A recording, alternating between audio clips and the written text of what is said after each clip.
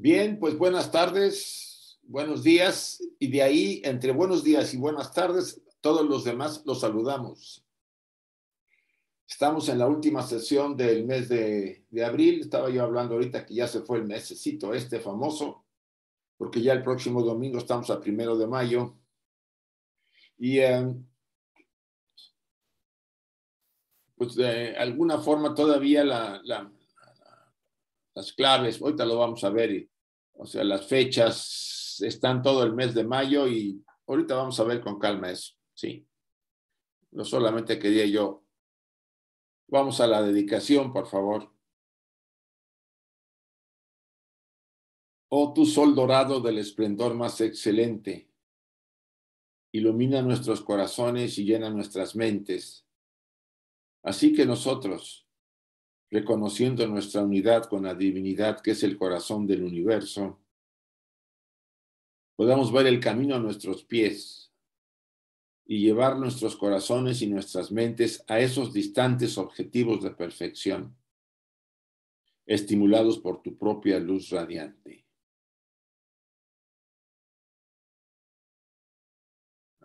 Así sea.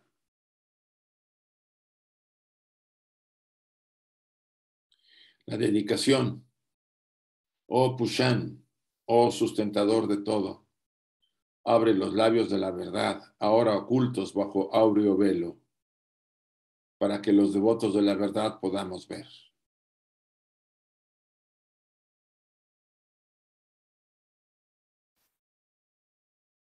Así sea. Bien, empezamos con nuestros anuncios. Mañana tenemos a Enrique Ahí están las claves de estudio de la ciencia y la teosofía. Eh, más adelante, aunque está el horario este de diez y media, no sé si ya que aclare Enrique si hay algún cambio. Eh, déjame aquí este eh, abrirle a Enrique su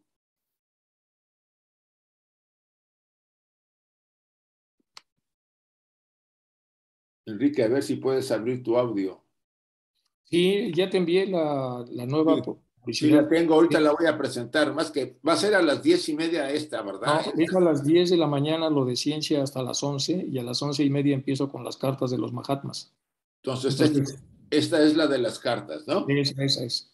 No, vienen las dos, mira, es eh, a las once y media, esta es la de las cartas.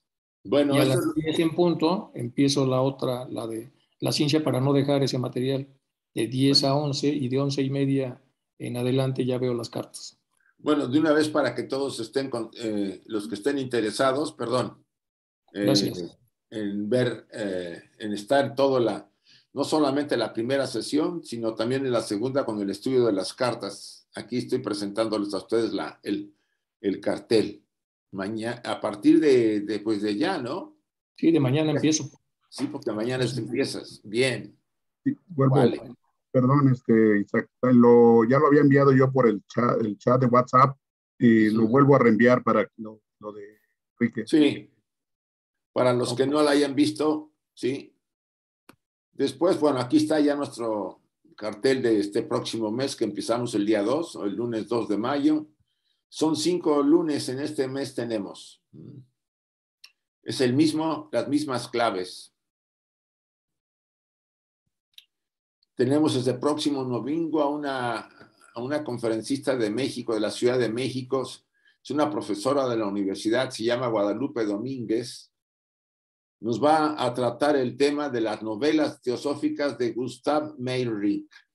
A mí me interesa el tema porque en realidad conozco a este, no conozco a este autor y supongo que puede ser de mucho interés para muchos que ignoramos que la enseñanza teosófica estuvo inmersa en muchas, en muchas de las corrientes de, la cultura, en el campo de la, de la pintura, en el campo de la literatura, de la música. Entonces, este domingo, primero de mayo, Guadalupe Domínguez, a las 11 horas de México, 6 de la tarde, hora de España, y ahí están las claves para los que quieran.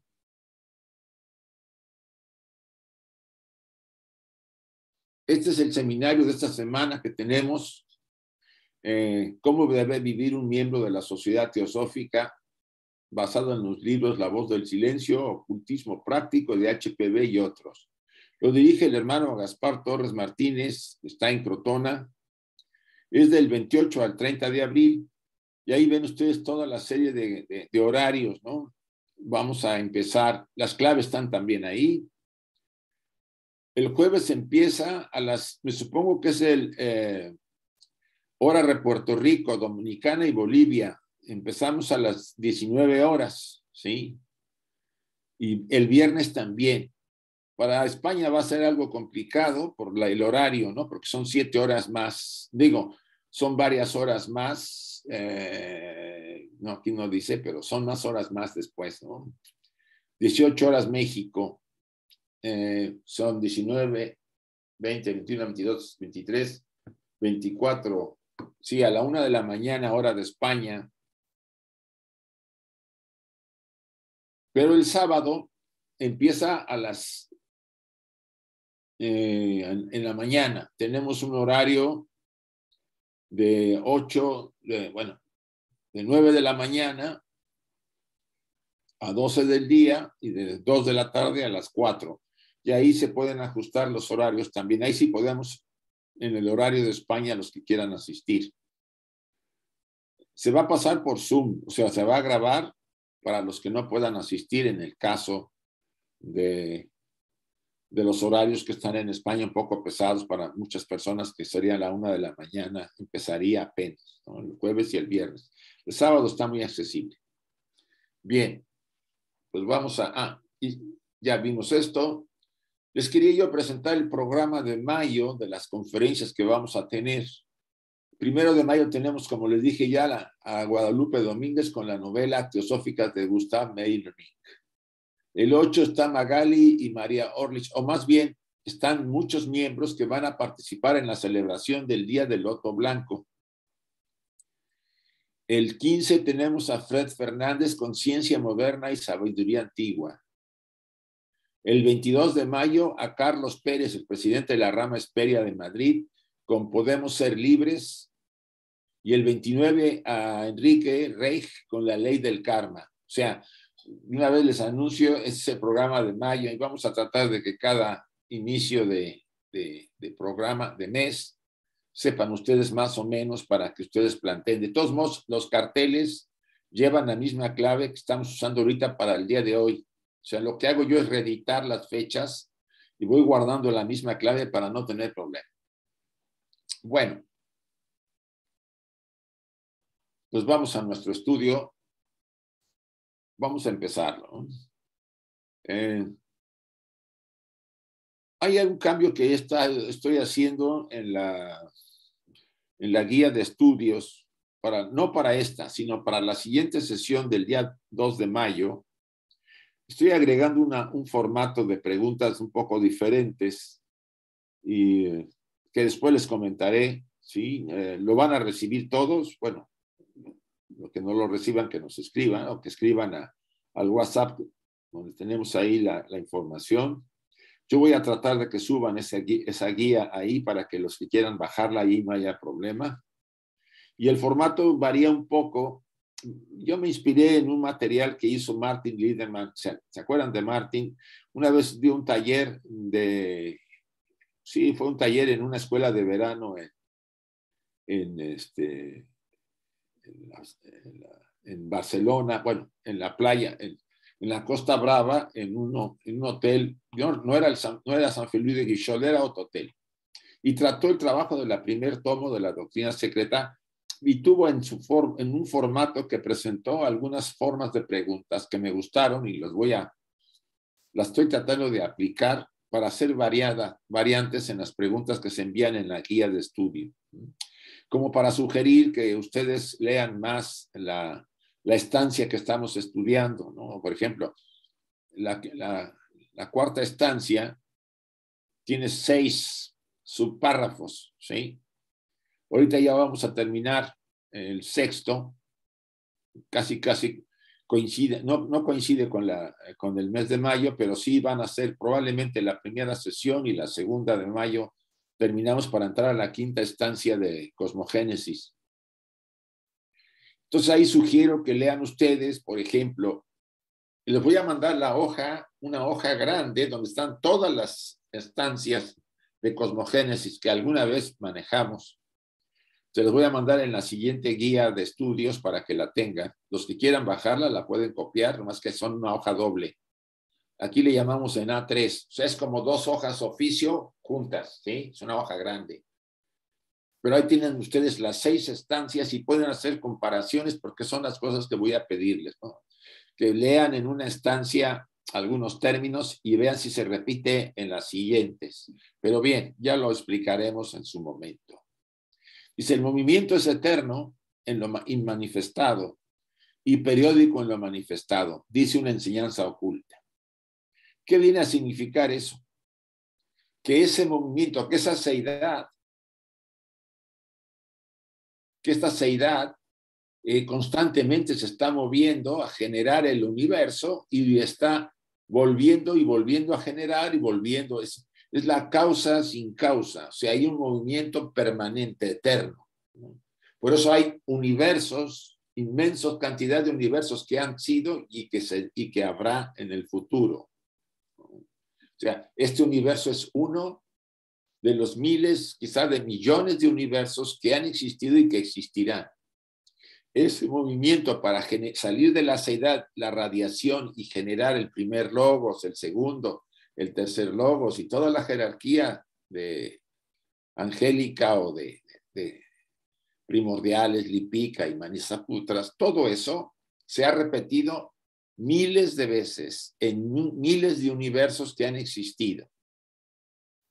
Pero entonces el impulso que genera la seidad es eterno, pero el impulso dentro del universo es limitado porque es finito. Esto es la, la idea que quiere decir lo que está acá, ¿no? El movimiento es eterno en lo inmanifestado, que es la seidad, y periódico, sea por ciclos, en lo manifestado, dice una enseñanza oculta. Sucede que cuando el calor causado por el descenso de la llama en la materia primordial, o sea, recuerden que la llama tiene que ver con la fuerza de Fojat, que viene de la esencia divina, de los, de los lobos, ¿sí? Penetra, hace mover las partículas, las activa a los átomos, ese movimiento se convierte en un torbellino. El tema del torbellino también lo veremos con una imagen muy interesante que una vez me dio, me prestó eh, Clarisa Elosegui en una presentación. Yo siento que la siguiente sesión trabajaremos ese torbellino. O sea, el movimiento no es en línea recta, sino que va como un torbellino, ¿no? Girando. Quizás eso también tiene que ver con la forma de las galaxias que se van, van generando esas formaciones redondas o elípticas, ¿sí? porque hasta que se va enfriando van surgiendo las estrellas, todo eso está muy ligado a lo que dice acá de las partículas.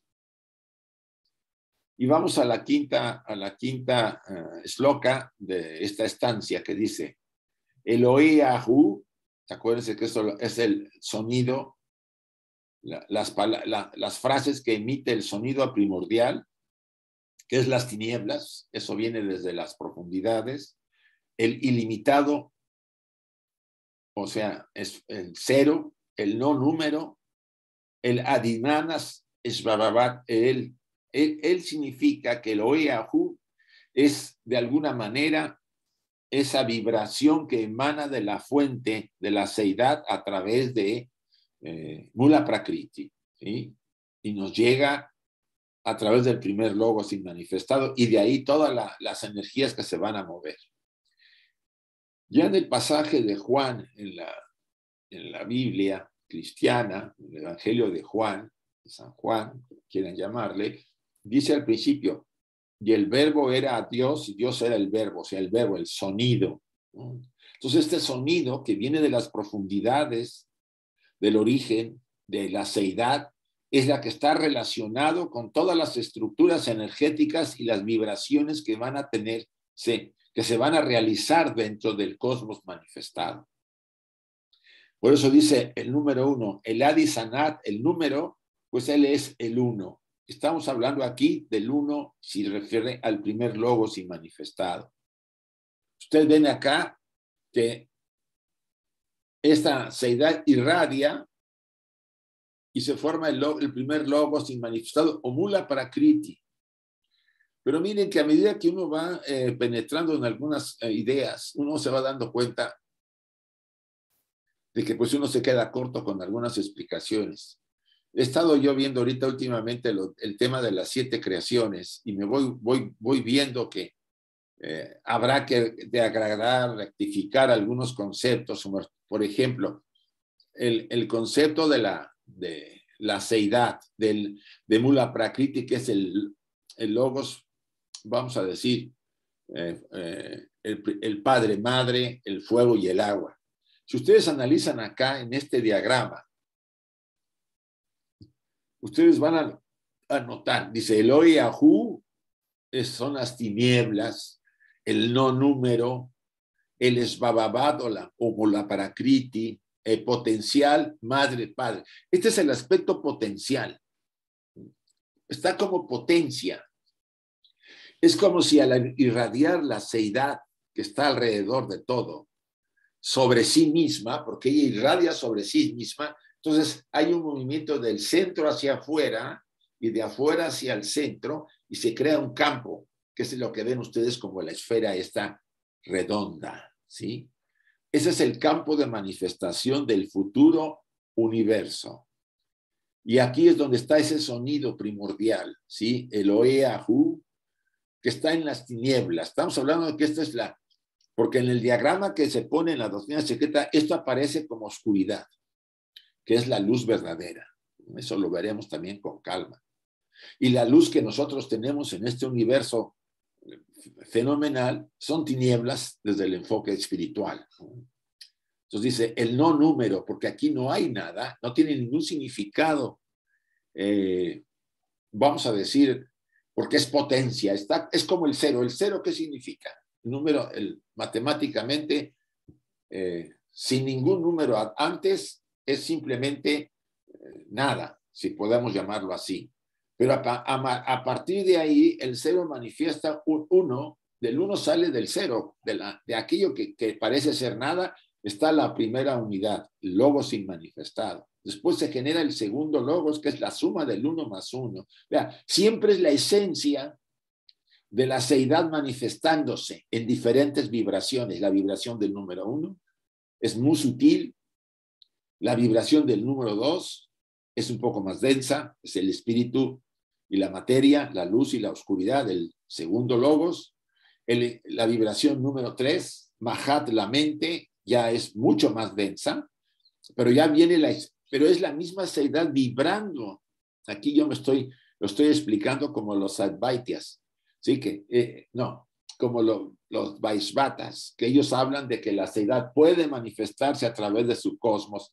Y los Advaityas dicen que no, porque dicen que una cosa es la seidad, que no tiene que ver mucho con el universo, porque es finito, y ella es eterna. Pero bueno, esos, esos detalles filosóficos no vienen mucho al caso, pero se los comento. Entonces, la primera manifestación de aquello, de aquella seidad, es ese, ese sonido, ¿no? porque todo, esa, todo lo que ven acá, el Padre, Madre, Potencial, Mula Prakriti, el fuego, el fuego y el agua, están como en estado potencial. ¿Cómo podemos poner una analogía del estado potencial? Ah, bueno, por ejemplo, cuando el óvulo es fecundado por el esperma, en, los primeros segundos está en potencia el bebé que va a ser después, ¿sí? Mientras no, no, no se empiezan a reproducir las células, todo es potencial.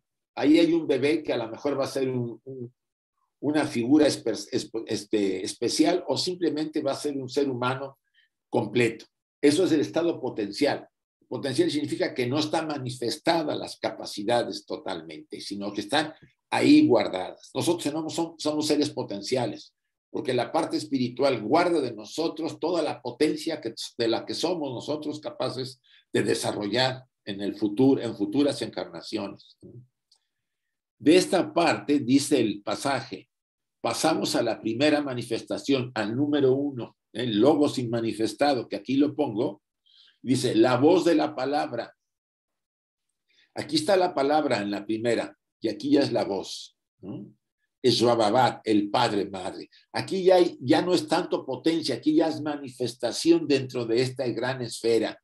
Entonces ya el Oeahu ya no es simplemente la posibilidad del sonido de, la frase que está ahí, sino que ya se manifiesta a través de un sonido, dice la voz de la palabra.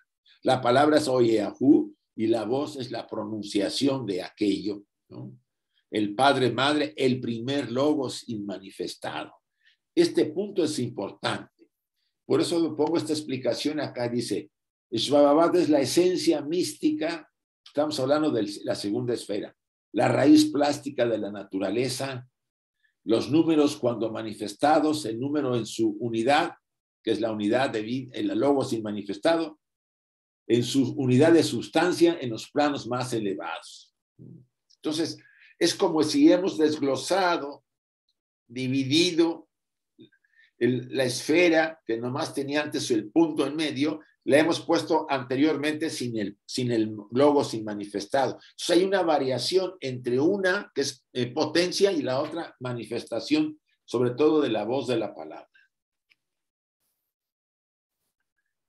De todos modos, ahorita lo veremos cuando nos preguntemos sobre este tema eh, para ir un poco más.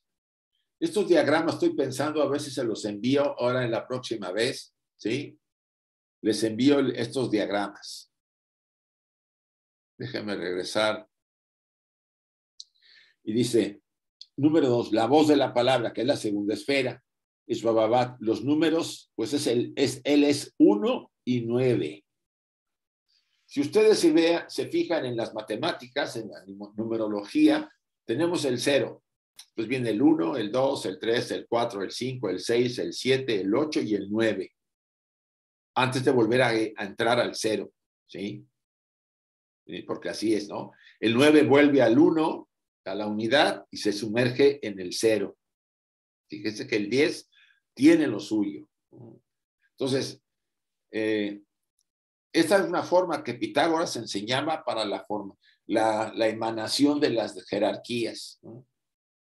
Es interesante que analicemos que cada una de estas formas tiene una característica particular. Los tres logos son la generación de logos y manifestado, que potencialmente tiene a todo el universo ahí. El segundo logos, o sea, Mientras está todo centrado en la esfera y el punto en el centro, el logo así manifestado, el hijo de su madre, que así se llama, es eso, el hijo de su madre. No hay problema. Pero cuando el hijo se convierte en el marido de su madre, ¿qué quiere decir? Que él ya manifiesta potencialmente al segundo logos o el espíritu y la materia. Si no hay espíritu y materia separados, no hay universo. Olvídense de lo demás. ¿Qué es lo que genera este universo? La tensión entre el espíritu y la materia. Y esa relación nos lleva al tercer logos, que es la mente o Mahat. ¿Sí? O sea, si no hay esta relación, perdón,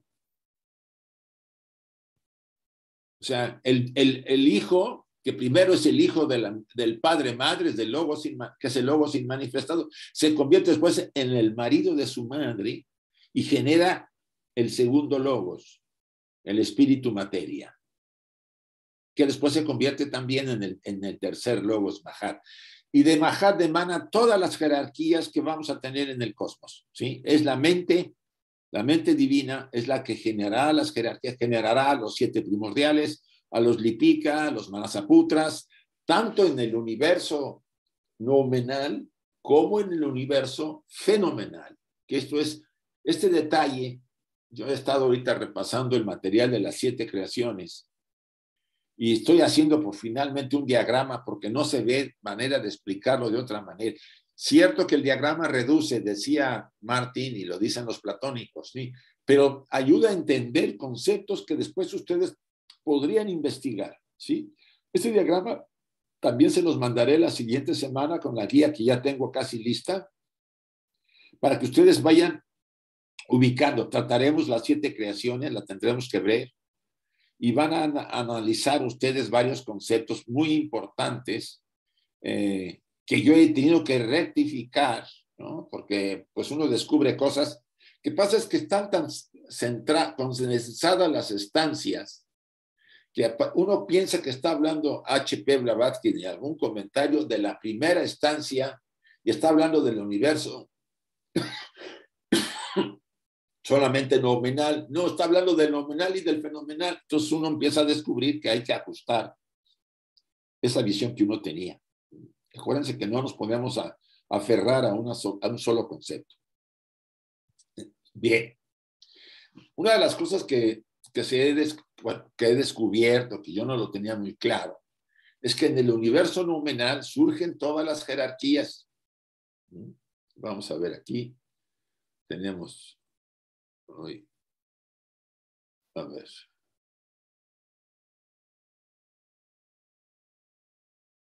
Miren, en este primer universo, la primera creación, la primaria, acá surgen todas las jerarquías, por lo menos las principales importantes jerarquías, que también lo veremos en el diagrama. Viene una, una noche de Brahma, que esta, esta línea morada que puse yo acá sobre este diagrama que me pareció interesante. Una noche de, de, de Brahma dura, eh, me parece que 4.300 millones de años, ¿sí? Porque es el, tiempo que duró la creación primaria. Después de ese descanso, que es el séptimo día que dice el Génesis, ¿no? Y al, al sexto día creó al hombre y, y al séptimo descansó. Una cosa así dice el, Génesis. Bueno, vuelve a generarse, entra en esa noche de Brahma y después de cumplirse ese, ese periodo de tiempo, vuelve a surgir un nuevo universo eh, que va a generar la segunda creación o un universo fenomenal, donde solamente la madre inmaculada es la que lo va a producir, o sea, la materia primordial. Eso yo no lo tenía tan claro y supongo que después lo volveré a, corregir, pero ahora me parece tan interesante que lo veamos de otra forma. O sea, primer universo es, se puede decir que es un universo básico, divino. Creo que todo es divino, pero es, es más espiritual. Y el segundo universo es, vamos a decir, más material, porque es la madre inmaculada, la materia primordial, la que va a generar el universo material. Esto lo veremos en detalle la sesión siguiente, porque estoy centrado mucho en esa parte. Bueno.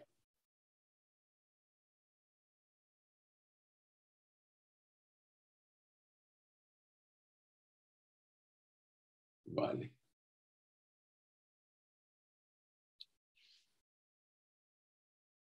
Dice, el comentario de 274 dice, lo cual hace 10 o el número perfecto que acabamos de ver, ¿sí?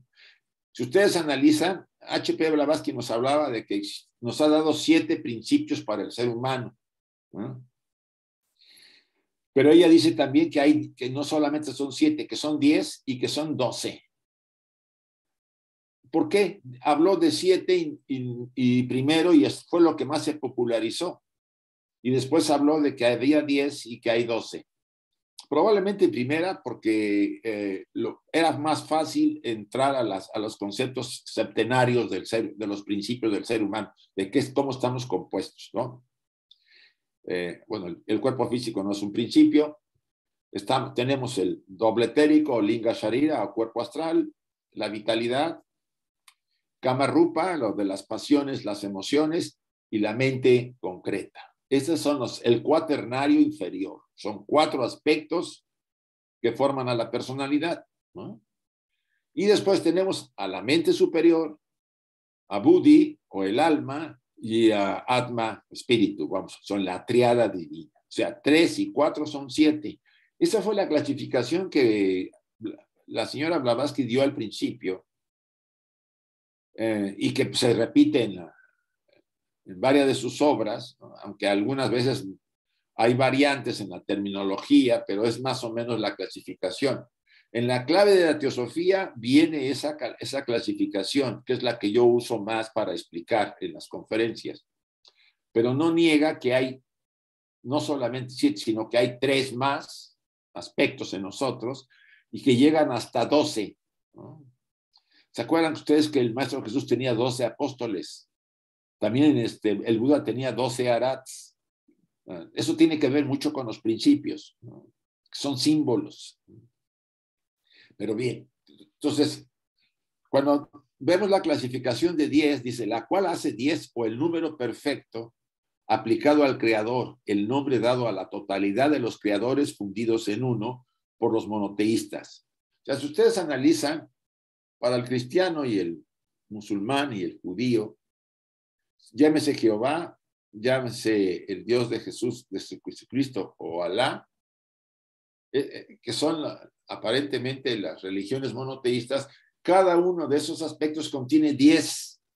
Están como que el cristianismo, como que las religiones monoteístas centraron todos los 10 aspectos que conforman las 10 jerarquías en un solo en un solo elemento. Por eso dice ese párrafo de HPV, dice, lo cual hace 10 o el número perfecto aplicado al creador, el nombre dado a la totalidad de los creadores.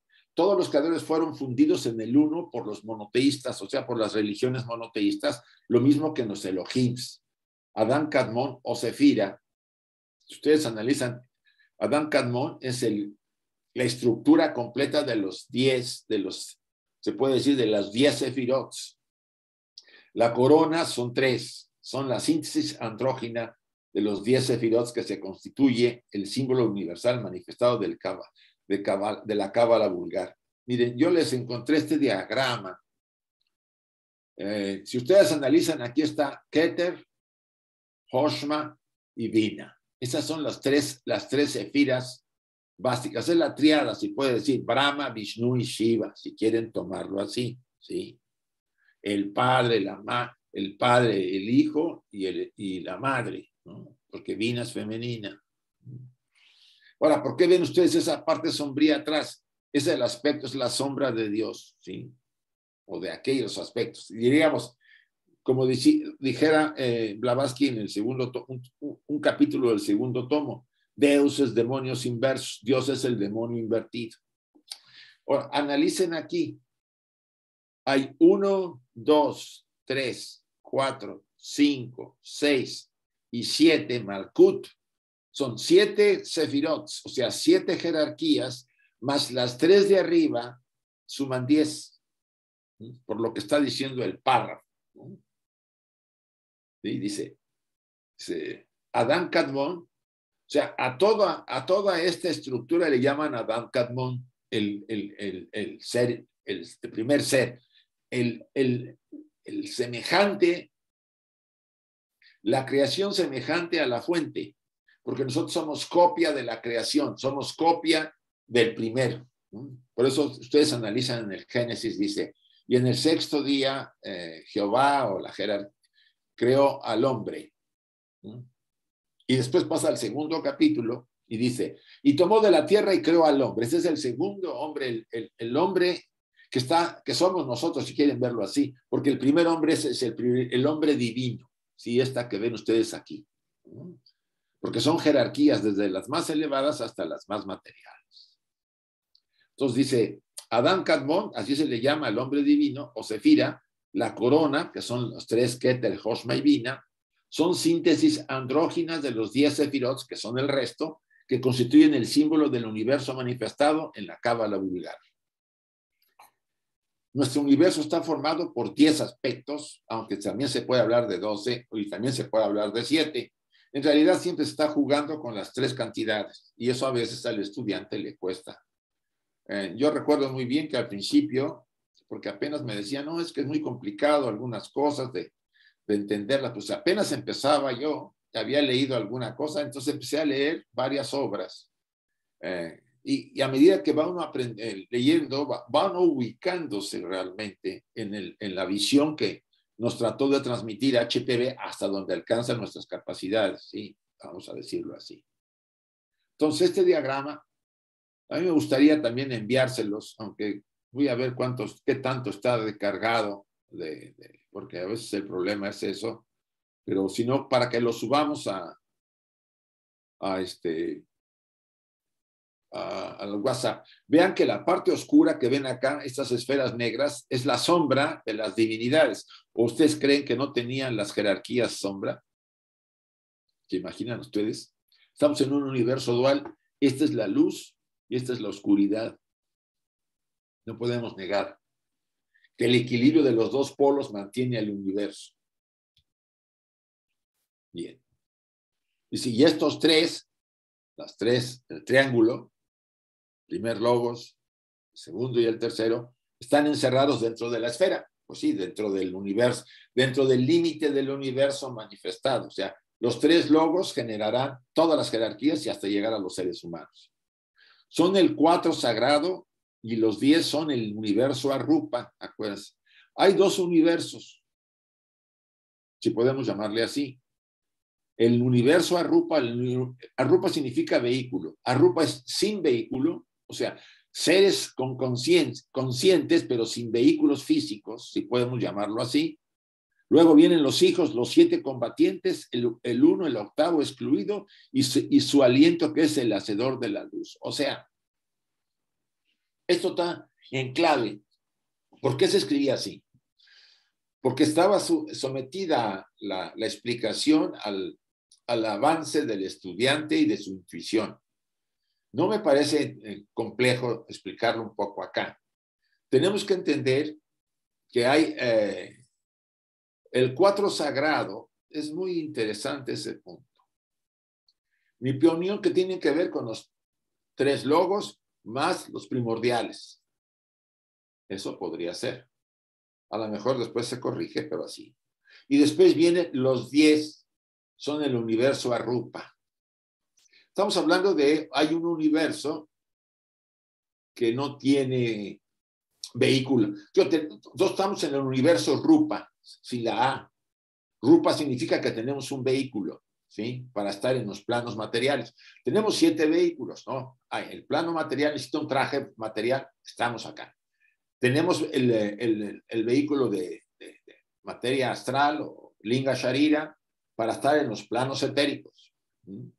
Tenemos el vehículo, y prana, ¿no? La vitalidad. Tenemos el vehículo del kama rupa para estar en los planos emocionales o astrales tenemos el vehículo mental para estar en los planos mentales. Acuérdense que cada plano tiene siete subplanos.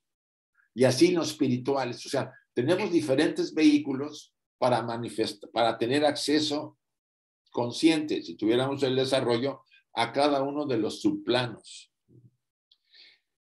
Estamos en ciernes, sí, somos estudiantes. Tarde o temprano se despertarán las fuerzas que están en nosotros, porque somos en potencia un Dios, así, aunque suene muy vanaglorio,so En potencia somos una divinidad en los aspectos superiores, y pero esa divinidad no se manifiesta mientras no termine nuestro trabajo de la estructura personal, que puede durar cientos de encarnaciones o algunas cuantas si vamos muy avanzados. ¿sí?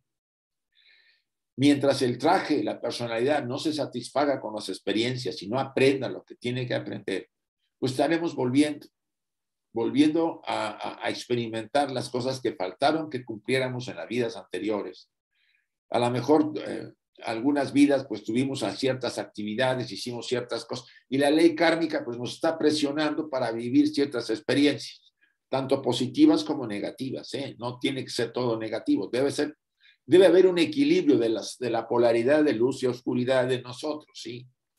Cuando eso se, cumple, entonces podemos avanzar hacia lo superior. Vamos a decir, se facilita a través de los, los canales hacia lo divino, hacia la entrada superior. Y es ahí donde empieza realmente la vida del estudiante espiritual, del buscador serio. ¿Qué podemos hacer nosotros en nuestro nivel? empezar a hacer nuestras primeras eh, pininos, se puede decir así, nuestros primeros pasos, ¿no? El conocimiento es básico, ¿sí? Para saber eh, el, la práctica de la disciplina de la meditación, la purificación mental, emocional, y eso lo podemos ir a hacer a nuestro aire. No sea, aquí no se puede correr, salvo que sea yo un ser muy avanzado. Lo demás tiene que ir al ritmo de cada uno, porque debemos guardar el equilibrio entre nuestro desarrollo y los compromisos que tenemos en la vida personal. ¿sí? Vivimos en un mundo material Muchos han adquirido compromisos de familia, tienen hijos, tienen un trabajo para poder mantenerse. Todo eso juega un papel importante porque estamos aprendiendo a través de todo eso, las experiencias que quizá dejamos pendientes en vidas anteriores porque nos dedicamos a otra cosa, ¿sí? Un monje que ha estado metido por dos o dos encarnaciones o tres, meditando en un monasterio, porque el karma le favorecía eso, y vuelve, a lo mejor se vuelve y tiene que formar una familia y vivir la experiencia de lo que no vivió porque estuvo inmerso en una experiencia de retiro. A eso me refiero. No es que le toque experimentar simplemente algo que está fuera de control, no, está ahí un programa que viene del alma, la que está dirigiendo a la personalidad hacia aquellas estructuras eh, de vivencias en este plan. Entonces, ese monje que había estado retirado, había dejado de, tener relaciones con el mundo porque estuvo meditando y tiene un avance espiritual, pero le faltó a lo mejor trabajarse otras cosas. Cuando vuelve, empieza a tener pues, ciertas experiencias que, en un momento dado le cuestan, ¿no? le cuesta trabajo estar con el público, pero tiene que activar esa parte, le cuesta trabajo pues entrar a, tener una pareja porque estaba acostumbrado a estar solo y no quería que nadie se metiera en su vida.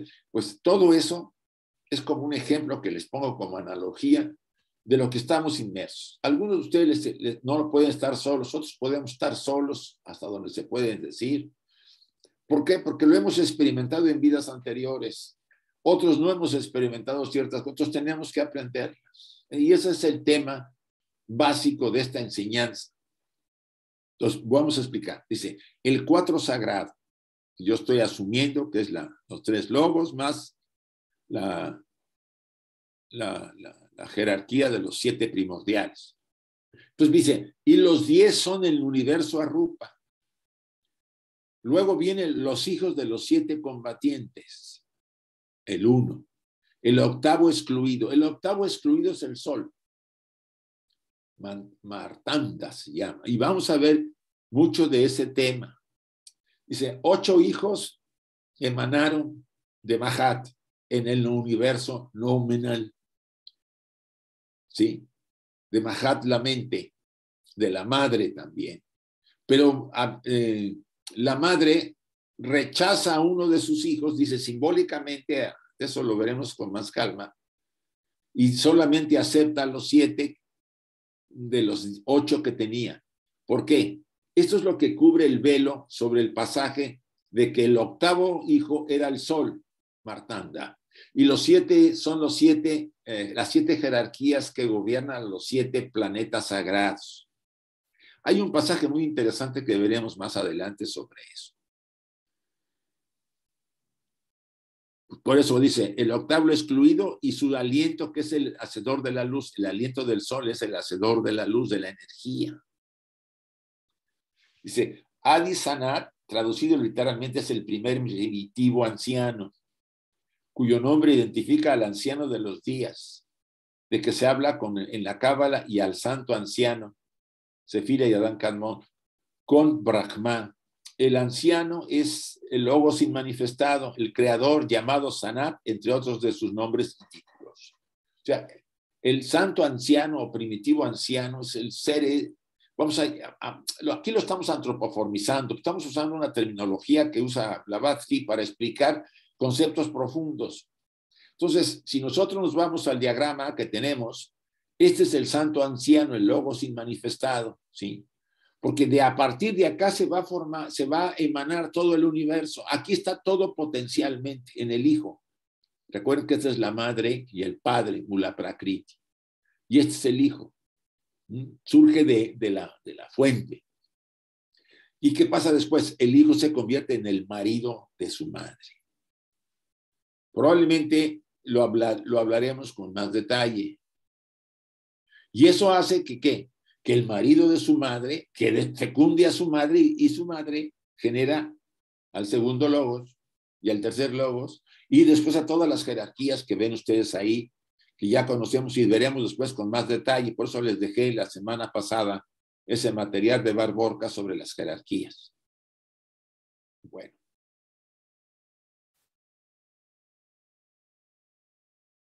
Ishvabhat es la esencia mística, la raíz plástica de la naturaleza física. Recuerden que Ishvabhat tiene que ver con el padre, madre, Mula Prakriti. Por eso encontré este diagrama. Es como una, una sustancia plástica que está penetrando todo el universo. ¿sí? Y es la base de las galaxias, de, los de todos los universos. Es como, vamos a decir, la materia, energía espiritual que sostiene a las galaxias, a los planetas, a las estrellas. Ahí está probablemente lo que la ciencia llama la materia negra, porque lo que hace es sostener que las galaxias se vayan expandiendo y mantiene un equilibrio de ellas con otras que estén cerca. Es muy interesante aquí lo que la ciencia podría relacionar. Dice, los números cuando manifestado, sea, cuando las los números son las jerarquías, recuerden que cada jerarquía tiene un número. Eh, los tres logos tienen el 1, el 2 y el 3. Pues viene el cuarto, ¿sí? La cuarta jerarquía, la quinta, la sexta, la séptima, la octava, la novena y la décima. Y por ahí vienen todas las jerarquías que ya conocemos, los nombres de ellas. ¿sí? Dice, los números, cuando, eh, cuando están manifestados, ¿sí? El número en su unidad de sustancia en el plano más elevado.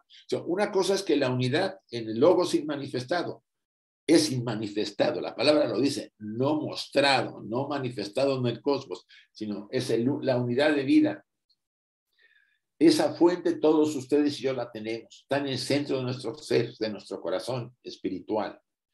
Ella es la generadora de nuestro microuniverso que somos ustedes y yo.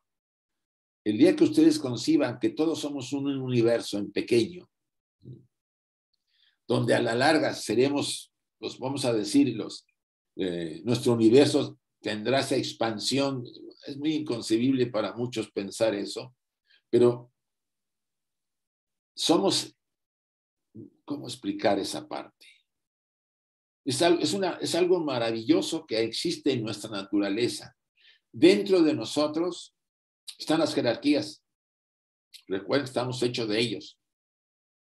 Tenemos a las, tenemos a los, a los tres logos en nosotros.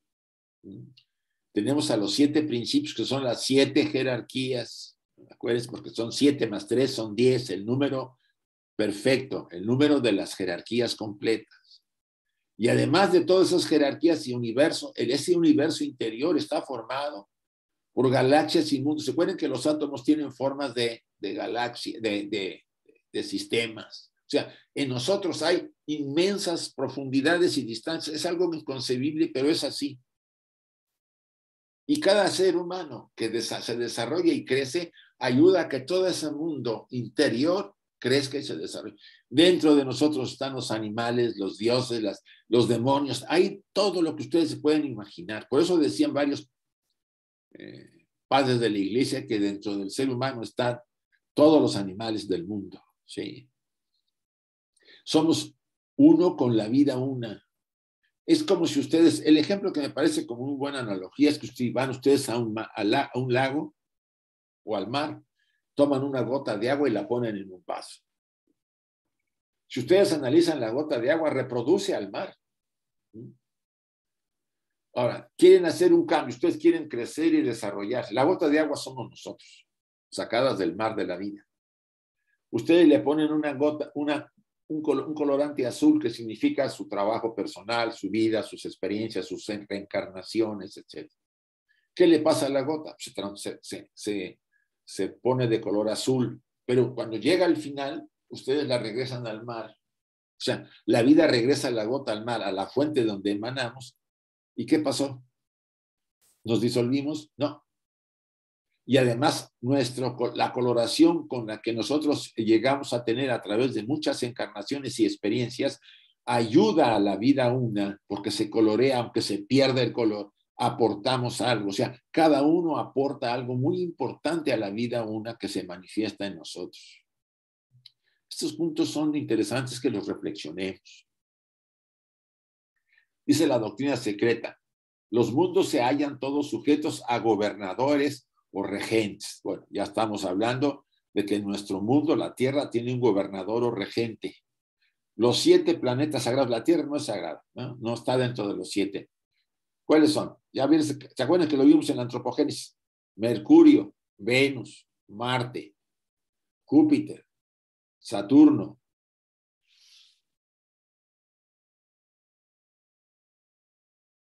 el sol no es, no es sagrado, ¿no? No, entra dentro de los siete. Acuérdense que él es Martanda, el excluido. ¿Está quién? Podemos hablar de un planeta oculto tras la luna, ¿sí? Y otro planeta que está muy cerca del Sol, ¿se acuerdan? Que en algún momento hablamos de él también en Antropogénesis. Ah, entonces, esos siete son los sagrados. no recuerdo ahorita su nombre, siempre se me olvida ese nombre de ese planeta. Pero bueno, dice, Rishis y Pitris entre los indos, así se le llamaban a los gobernadores o regentes, ángeles para los judíos y cristianos y dioses en general entre los antiguos pueblos. O sea, todos los mundos tienen un gobernador, tienen gobernadores y regentes. Llámenle rishis, llámenle pitris, llámenle ángeles, llámenle dioses, lo que quieran, los tienen. Los griegos tenían todo un Olimpo, ¿sí? Las, los dioses del Olimpo, ¿no? Zeus, Hera, eh, Artemisa, eh, Atenea, Marte, Mercurio, Venus, eh, bueno, Júpiter, ya lo mencioné, Zeus, ¿no? Hades, ¿no? que tiene que ver con alguno de los planetas. O sea, cada uno, Urano, Neptuno, Plutón, bueno, todos los planetas, pero esos ya nos entran dentro de los siete sagrados, y estamos hablando solamente de los siete. Pero cada planeta tiene una jerarquía, un gobernador y gobernadores y, regentes, ¿sí? En nuestro, en nuestro planeta tenemos jerarquías para los cuatro puntos cardinales. Esto es muy interesante, que en algún momento veremos. Eso significa que el círculo sin límites, la esfera, el cero, se convierte en un número únicamente cuando una de las nueve cifras le, precede. O sea, el cero solo eh, no puede convertirse en número porque después del cero va el uno. Pero si el uno está atrás, se convierte en qué? En diez. Fíjense qué interesante. Lo que dice acá manifestándose entonces su valor y su potencia, el verbo o el logos en unión con la voz y el espíritu. Es lo que significa el 10. Mm. El verbo, la voz y el espíritu con la, con la esfera, la totalidad, la expresión y origen de la conciencia. Significa las nueve cifras y forma así con el cero la, la década que contiene en sí mismo todo el universo. La década o el 10 contiene en sí mismo toda la manifestación del universo. Jerarquías, planos, el origen, los, logos, eh, Mula Prakriti, el primer, el logos manifestado, de atrás pues a la seidad. Ah, o sea, con la numerología Pitágoras nos llegó a explicar mucho de ello. Si ustedes ven acá está el triángulo este de Pitágoras,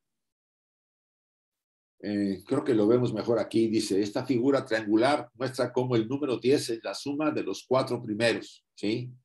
El 1, el 2, el 3 y el 4 nos dan el 10. 10 es igual a 1 más 0, que es igual a 1, es el, el cuarto número triangular. La tetractis, que así se llamaba, es la representación del número 10, que contiene el sentido de la totalidad y del final de retorno a la unidad, finalizando el ciclo de los nueve primeros números. Para los pitagóricos se trata de la Santa Tetractis, el más sagrado de todos los números por simbolizar a la creación universal, como dicen los pitagóricos. Fuente y raíz de la eterna naturaleza, y si todo se deriva de ella, todo vuelve a ella. Es pues una imagen de la totalidad del movimiento. Esta figura la tenía por sagrada. Por ella nacía en el juramento transmitido como pitagórico, hecho en nombre de Pitágoras mismo, pero sin nombrarlo por quien transmitió a nuestras almas la tetractis. Ahí se, ahí se, se ocultaba el nombre de Pitágoras. La tetractis es el número perfecto y la clave de la doctrina pitagórica. Y por supuesto, está muy entrelazada a la, la, doctrina oculta de las que estamos viendo con HPV. Aquí, en este, aquí esta es una imagen de la tetractis. Ustedes se vean, se fijan en las relaciones que tienen eh, en, los números que representan cada uno. Es una antigua imagen alquimista, creo. Eh, aquí estoy yendo. Dice, la triada forma dentro del círculo de la tetraxis, el párrafo está hasta abajo. O el cuatro sagrado, teniendo el cuadrado inscrito en el círculo, lo más potente de todas las figuras mágicas.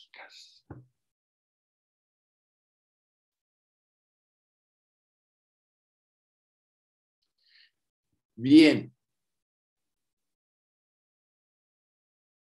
Vamos a abrir para realmente hemos casi terminado el material que yo tenía para hoy. Voy a, abrir, a pedirte, este, Chuy, que abramos para eh, a ver si hay preguntas. A ver, Salomón, por favor.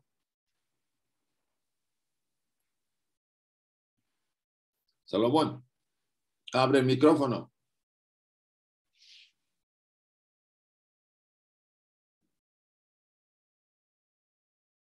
El micrófono, Salomón. Ahora sí, ya. Ah, como siempre, Isaac, muchas gracias por lo que nos ayudas a entender esto.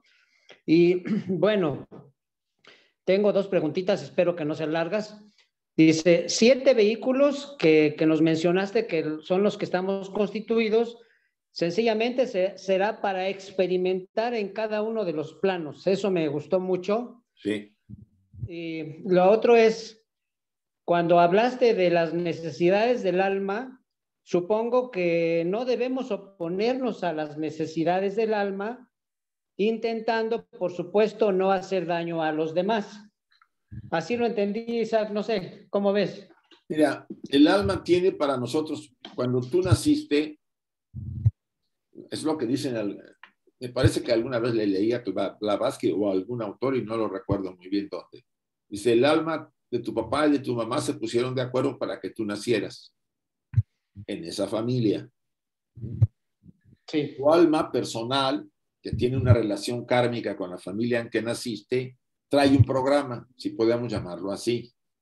Este programa, antes de que cuando estamos todavía en los planos sutiles, antes de volver a encarnar, el alma, que es la que está ahí, porque no está la personalidad ahí formada, sino es el alma, eh, lleva a cabo una especie de, yo no digo que juicio, sino que le muestran las posibilidades que tiene, la vida que va a tener, cómo van a ser, sobre todo de forma muy general, supongo. Eso dice la enseñanza. Es como si te mostraran el panorama de tu vida que vas a vivir desde el enfoque de, de tu parte profunda, el, el, de la alma. El alma te regula a ti el karma que has vivido en esta vida. ¿no? Tiene el programa, pero al tener el programa, dice, dentro de este programa vas a experimentar esto, esto, esto, esto y esto y esto, para que aprendas lecciones. ¿Qué quiere decir eso? Que entre mejor seamos seres humanos, más equilibrados y más armónicos, vibramos más a niveles sutiles con el alma, con el yo superior y con el alma. Entonces, no hay programa, es mi opinión donde el alma diga, pues tienes que ser un maldito, tienes que hacer esto y el otro. Hablo en términos generales, sino sí. que al contrario, debido a la vibración espiritual, porque ella es la receptora de Atma, del espíritu, lo, dentro de las consecuencias de esa experiencia es que vivamos de una manera más equilibrada en relación a ella, salvo que haya experiencias que necesitábamos vivir y que no habíamos vivido y que a lo mejor nos llevan a vivir experiencias densas. Eso también puede ocurrir. Sí. Muchas gracias, Isaac. Muy amable. A ti, a ti, Salomón. No sé si haya más preguntas, chicos.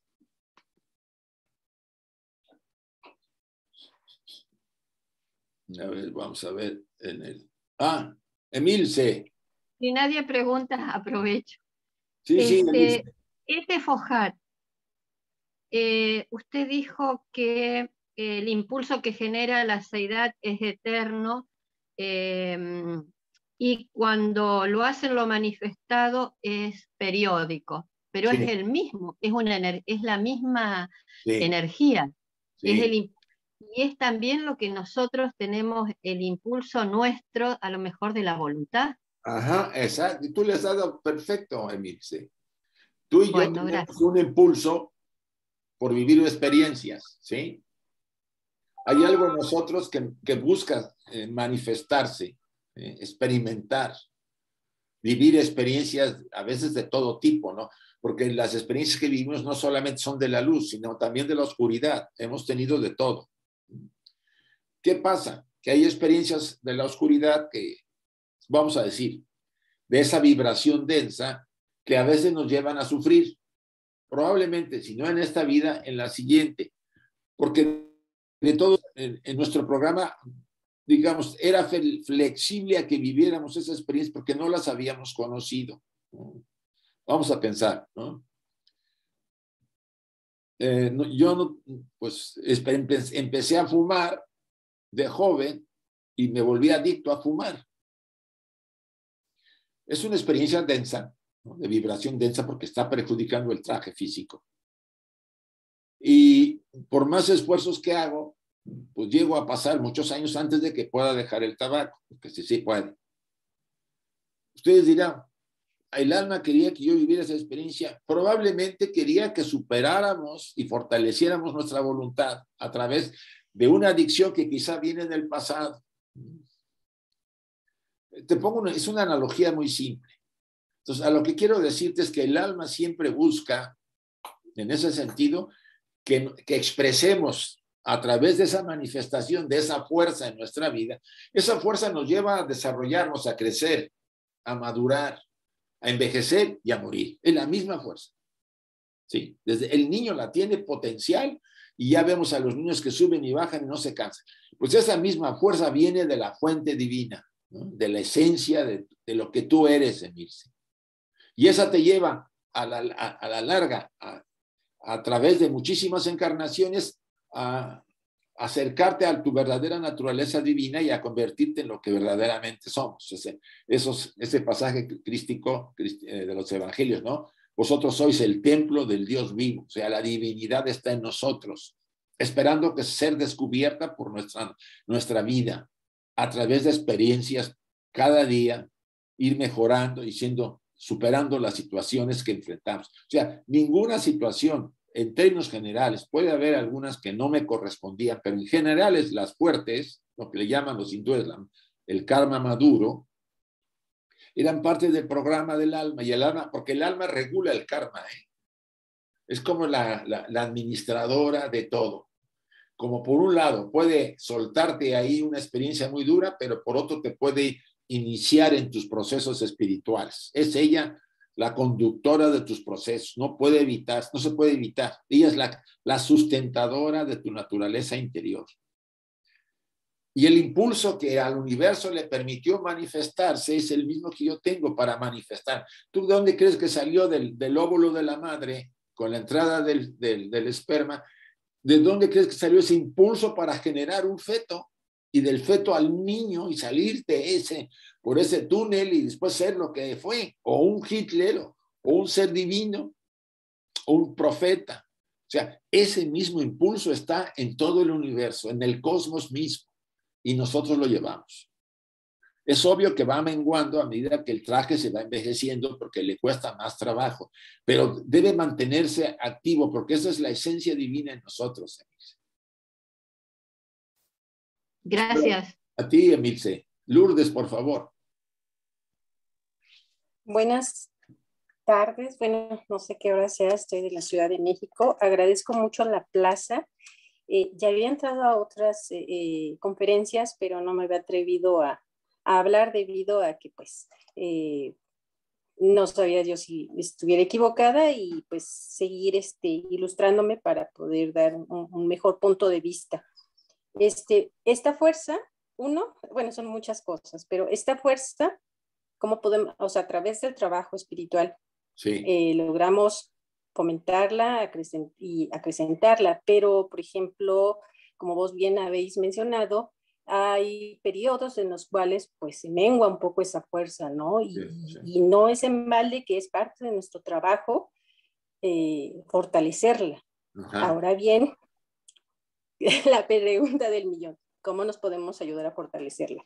Otro punto es este, con respecto a lo que comentaba de, respecto del alma, que hay quien dice que, bueno, nosotros eh, hablamos del alma, pero hay quienes dicen, por ejemplo, he escuchado a personas en el cuarto camino que comentan que el alma no la conocemos en realidad y que no es nuestra hasta que cuando la conozcamos será nuestra. Eh, no sé si está equivocada este punto, es solamente para ilustrarlo. Eh, respecto de la tetraquis, yo observé, me puse a estudiarla y, desdoblarla, y de la tetraquis en efecto se desdobla y sale el árbol de la vida que nos da después el lugar a la, a la cábala este, no había conocido la figura que vos nos habéis mostrado en tercera dimensión. Y no sé si estoy equivocada. Este, cuando se supone que el individuo está trabajando y se muestra la estrella de seis puntas, esa es en el segundo plano. Cuando esta está en, tercer plano, sería la Merkaba. Y ¿Cómo la situaría yo en esta imagen? Y si vos pues podéis compartirnos un poco más al respecto de la imagen que nos mostrasteis, porque pues en efecto todos estamos, todo, ¿no? Tiene todo, eh, aunque nuestra mente sea este, eh, muy redundante y, y, lo mejor es siempre lo simple, este, para llegar a la unidad, definitivamente tenemos luces y sombras, ¿no? En todo está el, blanco y el negro. Muchas cosas, pero por lo pronto es cuanto, gracias. Mira, primero lo de eh, fortalecer la fuerza. Eh, la fuerza, en realidad la tenemos toda vibrando a cierta frecuencia, dependiendo del grado de, de desarrollo que tenemos, la madurez que traemos. ¿no? normalmente emana de la fuente de nuestro ser espiritual. ¿Cómo se puede reforzar? Bueno, ella vibra a una frecuencia, entonces toda actividad que vibre a cierta frecuencia, que se acerque a esa frecuencia, ayuda a que esa fuerza se active. Por ejemplo, simple, la meditación.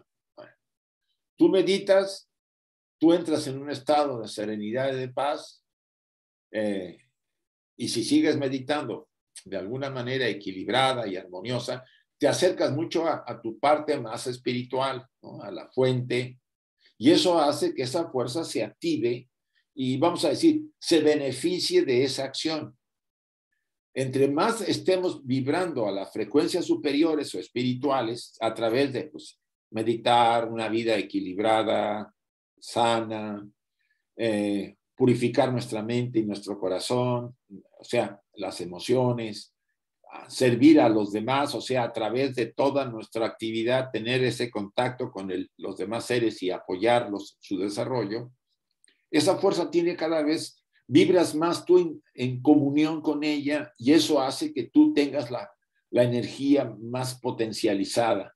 Eso es lo que encontramos en los seres espirituales, que cuando estamos junto a ellos, pues nos impresiona, nos, nos entusiasma, nos hacen sentirnos muy bien. Están emanando esa energía, una forma de energía de esa misma fuerza. Solamente hay una fuerza. Y toma muchos canales, como los canales que tienen los, los centros de radiación, los, que están girando en nuestros dobles, en, en nuestros vehículos internos, los mandalas, los chakras, ¿no? O sea, hay una sola fuerza que se, se manifiesta de muchas maneras. La segunda puerta, la segunda pregunta es sobre el alma. Eh, pues, estoy de acuerdo, ¿no? El alma no es fácil de conocerla. Eh, tenemos manifestación de ella. Por ejemplo, la parte espiritual, Atma, se refleja en el físico, en el vehículo físico, pránico, el prana, la vitalidad. O sea, la parte superior, la más elevada espiritual, es, somos nosotros copia de ella. Después las emociones, lo que le llamamos eh, pasiones, emociones, etcétera, que están en, un nivel eh, más denso, es una, un reflejo de, del alma, de Buddhi, lo que es la terminología teosófica. Ahí es donde está la clave. Una forma de desarrollar este aspecto es activando la intuición. Primero el discernimiento y después la intuición, o las dos si quieren al mismo tiempo. O sea, entre más intuición se desarrolle en nosotros, más cerca estamos de los, de los designios de nuestra alma. Y eso es muy interesante porque a veces con la forma de vida, con ese equilibrio, nos acercamos a, llegar, por ejemplo, en sueños, a tener un contacto cercano con ese, ese ser, que en el hombre puede aparecer como mujer y en la mujer puede aparecer como hombre. Es un término muy personal. Eh, el alma no tiene un sexo determinado, o sea, varía según las condiciones de cada uno, según las claridades en esencia, nuestras, nuestros seres, nuestro ser espiritual superior es andrógino. No sé si podamos entender. No posee un sexo determinado. Hay una androginia en nuestra esencia, como el origen de las razas humanas eran andróginas. Después se separaron los sexos, cuando vinieron todos los procesos en la tercera raza Lemur. Entonces, una forma de entenderlo, aunque sea a un nivel más, más, más bajo, es que mi alma es femenina, en mi caso, incluso se identifica con alguna diosa, porque las diosas tienen que ver con el alma, el alma del mundo. Los budistas le llaman alaya, y yo llevo mi alma personal, mi alaya personal. Que tenemos dificultad de contactarlo, sí, porque mientras vivamos hacia afuera, pues es poco interés de vivir hacia adentro y acercarnos a ella. Entonces, la recomendación es que vivamos hacia nuestro ser interior, hacia el, alma interior, si quieres llamarlo así. Y poco a poco nos acercaremos a su influencia, a sus designios. Y cuando entramos en contacto con ese aspecto, nuestra vida cambia totalmente. Bueno, sobre el tercer tema de la tetratis, pues no te puedo decir mucho. Yo pienso que eh, ahí tienes tú quizá algunos detalles que yo no, no he metido demasiado el tema pitagórico y honestamente te lo digo que tendría yo que repasarlo y en otra sesión pues podríamos tocarla, si es que es así la posible. Pues gracias, por favor, Leonor. Eh, a ver, Andrés, por favor.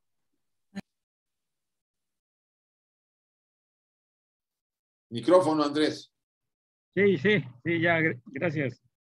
Este, anteriormente nos, habías dicho que hay un mantra en, el primer logos que lo voy a deletrear. O, E, A, O, H, O, O. Sí, aquí está, lo estás viendo. No, te digo que fue el anterior. Ah. Pero ahora, pero ahora ahora está así como, como está aquí el O-I-H-A-H-O-U. Pero el anterior era O-E-A-O-H-O-O. Pero ya cambió. No, no es que haya cambiado. Lo que pasa es que eh, Blavatsky puede ser que haga, haga algunas modificaciones en... Mira, es un término sagrado. la pronunciación de ello es, vamos a decir, eh, uno debe tener mucho respeto sobre este, estos términos y la forma. Llevan un ritmo, una cadencia, una vibración.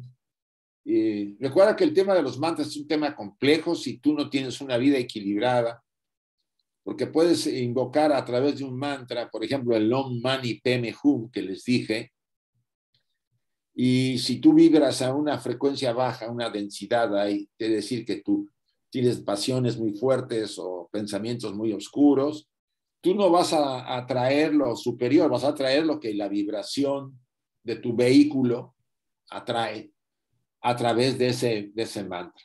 Esta palabra es la palabra primordial, si quieres verlo así, probablemente modificada por H.P. Blavatsky y eh, cambiada en algún momento por el tema de que no todo se debe revelar. Entonces, tómala como una, un cambio que ahí se, se presentó eh, por las razones que en el momento en que la vimos, la sesión anterior, eh, se presentaba dentro de ese marco de esa forma y ahora lo presenta así. No, no le des más, más paso, pero sí el tema de los. Hay una, manta, eh, hay una obra en los, en los Upanishads que trata sobre los mantras. Es un, un mantra yoga, bueno, hay también el mantra yoga, pero yo siempre he estado con, que los mantras tienen su, su, su, su, su reto. ¿Cuál es? Que el uso que hagamos de él, pues tiene que ver con la calidad de nuestra vida personal. Tú te puedes poner a, a, recitarlo y si no tienes una, eh, no conoces las claves para recitarlo o decirlo, pues no te hace ningún efecto relativamente. Ahora, si es muy poderoso como el Om Mani, y eso les recomiendo que lean en el capítulo 6, en el tomo 6 de la doctrina secreta viene ahí un capítulo que H.P. Blavatsky describe. Pues vean los efectos, puedes atraer cosas tanto de los mundos superiores como de los mundos inferiores. Entonces, uno debe tener cuidado, se los digo honestamente. Nos pueden servir para crecer como para mí nos pueden meter en problemas. Gracias, Andrés. No, gracias a ti, Isaac. Saludos. Leonor, por favor. Gracias, Isaac.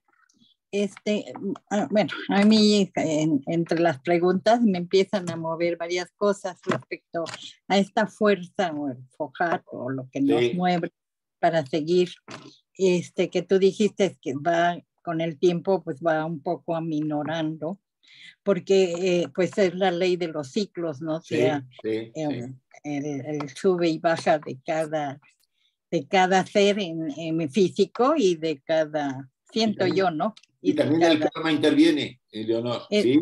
Exactamente. Entonces, pero también eh, siento que mucha gente eh, este, piensa que esa fuerza eh, se, se, puede acrecentar, pues más bien físicamente, porque estamos en lo físico y, eso es lo que quisiéramos, que aunque estemos en, ya, de bajada, pues no nos vayamos bajando tan rápido, ¿no? pero yo siento que eh, esa fuerza más bien debe ser espiritual, ¿no? O sea, debemos crecer espiritualmente, aunque estemos en, cómo se de, decreciendo este, físicamente, o como tú dices, y manejar esa fuerza puede ser negativa y positiva, o sea, como dicen, a lo mejor pensamos que le estamos dando al violín y, resultó que es el violón y estamos desafinando, ¿no?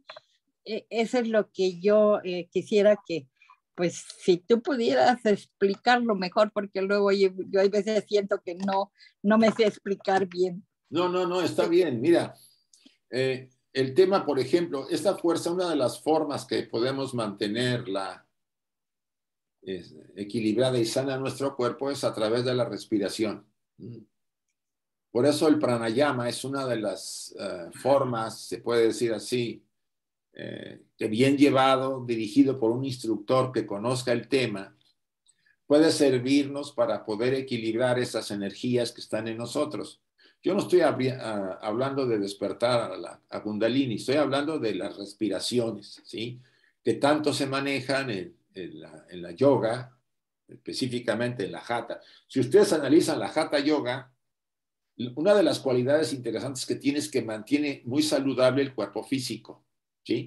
Además de, de alguno de los vehículos, sobre todo lo que es el Linga Sharira o el, doble etérico. O sea, tiene esa función y sí, yo no puedo negar que si tú practicas alguna de las asanas y regularmente, junto con ejercicios eh, y meditación, pues tu cuerpo se mantiene mucho mejor que, que otros que pues realmente están abandonados a, a, vivir como la mayor parte de la gente y eh, cuando llegamos a la edad que tenemos, pues ya tenemos mucho más, eh, no sé, esa vitalidad está ahí, ese flujo de ese impulso sigue siendo adecuado, pero eh, no, no, falta, no, no, decae tan rápido como decae en, en, personas en que han sido muy pasivas, han estado muy, muy apegadas a lo material, etcétera, etcétera. Totalmente de acuerdo contigo, Leonor. en nosotros está en nuestra forma de vivir espiritualmente es mantener todas esas energías activas y básicamente la respiración que es tanto se recomienda es uno de los elementos, ¿sí? Eso te puedo eso, Eso dímelo a mí que ya mis pulmones no quieren dar de sí. bueno, es, hay varias, ¿no? Hay varias. Pero dicen que causa efecto, ¿no? Sí, ¿Para qué andas este, de joven queriendo ser muy, muy nice y fuma y fuma, no? Bueno, deja eso, todos hacemos cositas. Eh, ¿Por qué se ríe? Porque alguien ya también ese pecado ya lo hizo y, la, y el pago, pues lo tienes que pagar, a fuerza es karma. si se deterioró el traje, pues sí, sí, es difícil a veces recuperarlo, ¿no? No digo que... Pues sí. Eh, a veces las lecciones son duras, por eso a veces las almas... Eh, no quisiéramos que fueran... O sea, la, naturaleza tiene una forma de, enseñarnos. No nos enseña con, libros, nos enseña con experiencias. O sea, nos hace ver a través de una experiencia, por ejemplo, dolorosa, lecciones que no hemos querido aprender, ¿no? Por ejemplo, nos gusta engañar a los demás. Vamos a poner ese ejemplo. Entonces, pues, eh, a veces repetidamente lo estamos así, incluso lo traemos de otras vidas. Entonces empezamos a ser engañados o a vivir experiencias de engaño de gente que amamos y empezamos a, sufrir y darnos cuenta, pues que si, eres un poco perspicaz y te das y, te conoces, pues que tú lo hiciste y lo sembraste y ahora lo estás recogiendo. Y tarde o temprano dice, hasta acá llego con las mentiras o con el, las calumnias o con cuántas cosas que nos andamos metiendo en un momento dado. A veces las lecciones son muy duras, pero es así, Leonor. Pues sí. Gracias, Isaac. A ti. A ver, Ernesto. Sí, Isaac, se mencionó aquí sobre Adi Sanat. ¿Él es el Señor del mundo o es otro? ¿Él cómo es físicamente? ¿Hace cuánto está en la Tierra? ¿Es de Venus o es de acá? Esa es la pregunta. Ay, caray, pues mira, eso de que se sea de acá o de Venus está más difícil que te lo diga. Podría ser que sea de las jerarquías venusinas, pero también puede ser, porque ya llevamos varias este, razas. Eh, al principio de la raza eh, Lemur, pues sí, las jerarquías venían fuera de la, del sistema, o sea, del, del, del globo de la Tierra, y vinieron a, a desarrollar los, los arats que posteriormente eh, empezaron a surgir en, nuestra, en nuestra evolución de las, en la raza Atlante y después en la quinta raza en la que estamos. Pero este, originalmente eran, eh, eh, venían de fuera, vamos a llamarlo así, las, las divinidades que nos formaron, los, los manasaputras que venían, venían de otros universos a, a, darnos la mente, los anishvatas, etcétera, pues eran seres no del sistema no de la Tierra, no de la, del sistema solar, venían de otros universos a aportarnos esas, esas condiciones. Eh, y lo que tú me preguntas, pues me deja intrigado un poco, ojalá podamos investigarlo. Asumo que pudiera ser un ser, no, tengo dudas de poder decir. Probablemente venga de otro, de otro, de otra, vamos a decir, de otra de otro ciclo de este universo más desarrollado y aportando a nosotros, a, nuestra, a nuestro planeta, a nuestra evolución, su, eh, sus experiencias, vamos a llamarlo así. Eh, por eso te puedo mencionarlo así, Ernesto. Vale, gracias. A ti. Claudia, por favor. Ah, hola, este, bueno, voy a tratar, son dos preguntas. Este, la primera sería, mm, ahorita que el alma, si el alma vendría siendo la parte femenina, ¿cuál sería, por así decirlo, la parte masculina? Esa sería la primera. Y eh, la segunda sería, mi alma o, esta alma de cada quien eh, es la misma que nos acompaña cada vez que se hace, ahora sí que aquí desde la creación en la imagen que estamos viendo, es la misma que sigue con nosotros hasta llegar pues no sé, ahora sí, hasta lo escribí, hasta llegar a, cuando termine este Mambantara o, y, luego ya de ahí ya nos deja cuando termina o cuando vuelve a empezar esto de los Mambantaras, todo esto, nuestra alma vuelve a ser la misma o va aprendiendo hasta llegar a ser una jerarquía que bueno, ahora sí que, que, es, que es lo que yo voy, es lo que acabo de entender ahorita, para llegar a ser parte de otra, no sé si decirlo humanidad, creación, que nosotros lleguemos a ser parte de, ellos, así como, todos los que ahorita en un momento dado están formando parte de cada uno de nosotros. No sé si le hice bien la pregunta, pero... Está un poco revuelta, pero bueno, vamos a ver. Mira, el alma... Sí, gracias. El alma no tiene un sexo particular, ¿sí? Se puede decir que es andrógina. Pero a nuestros ojos aparece en el hombre como una mujer y en la mujer puede aparecer como un hombre, ¿sí? Recuerda que son los pares que complementan.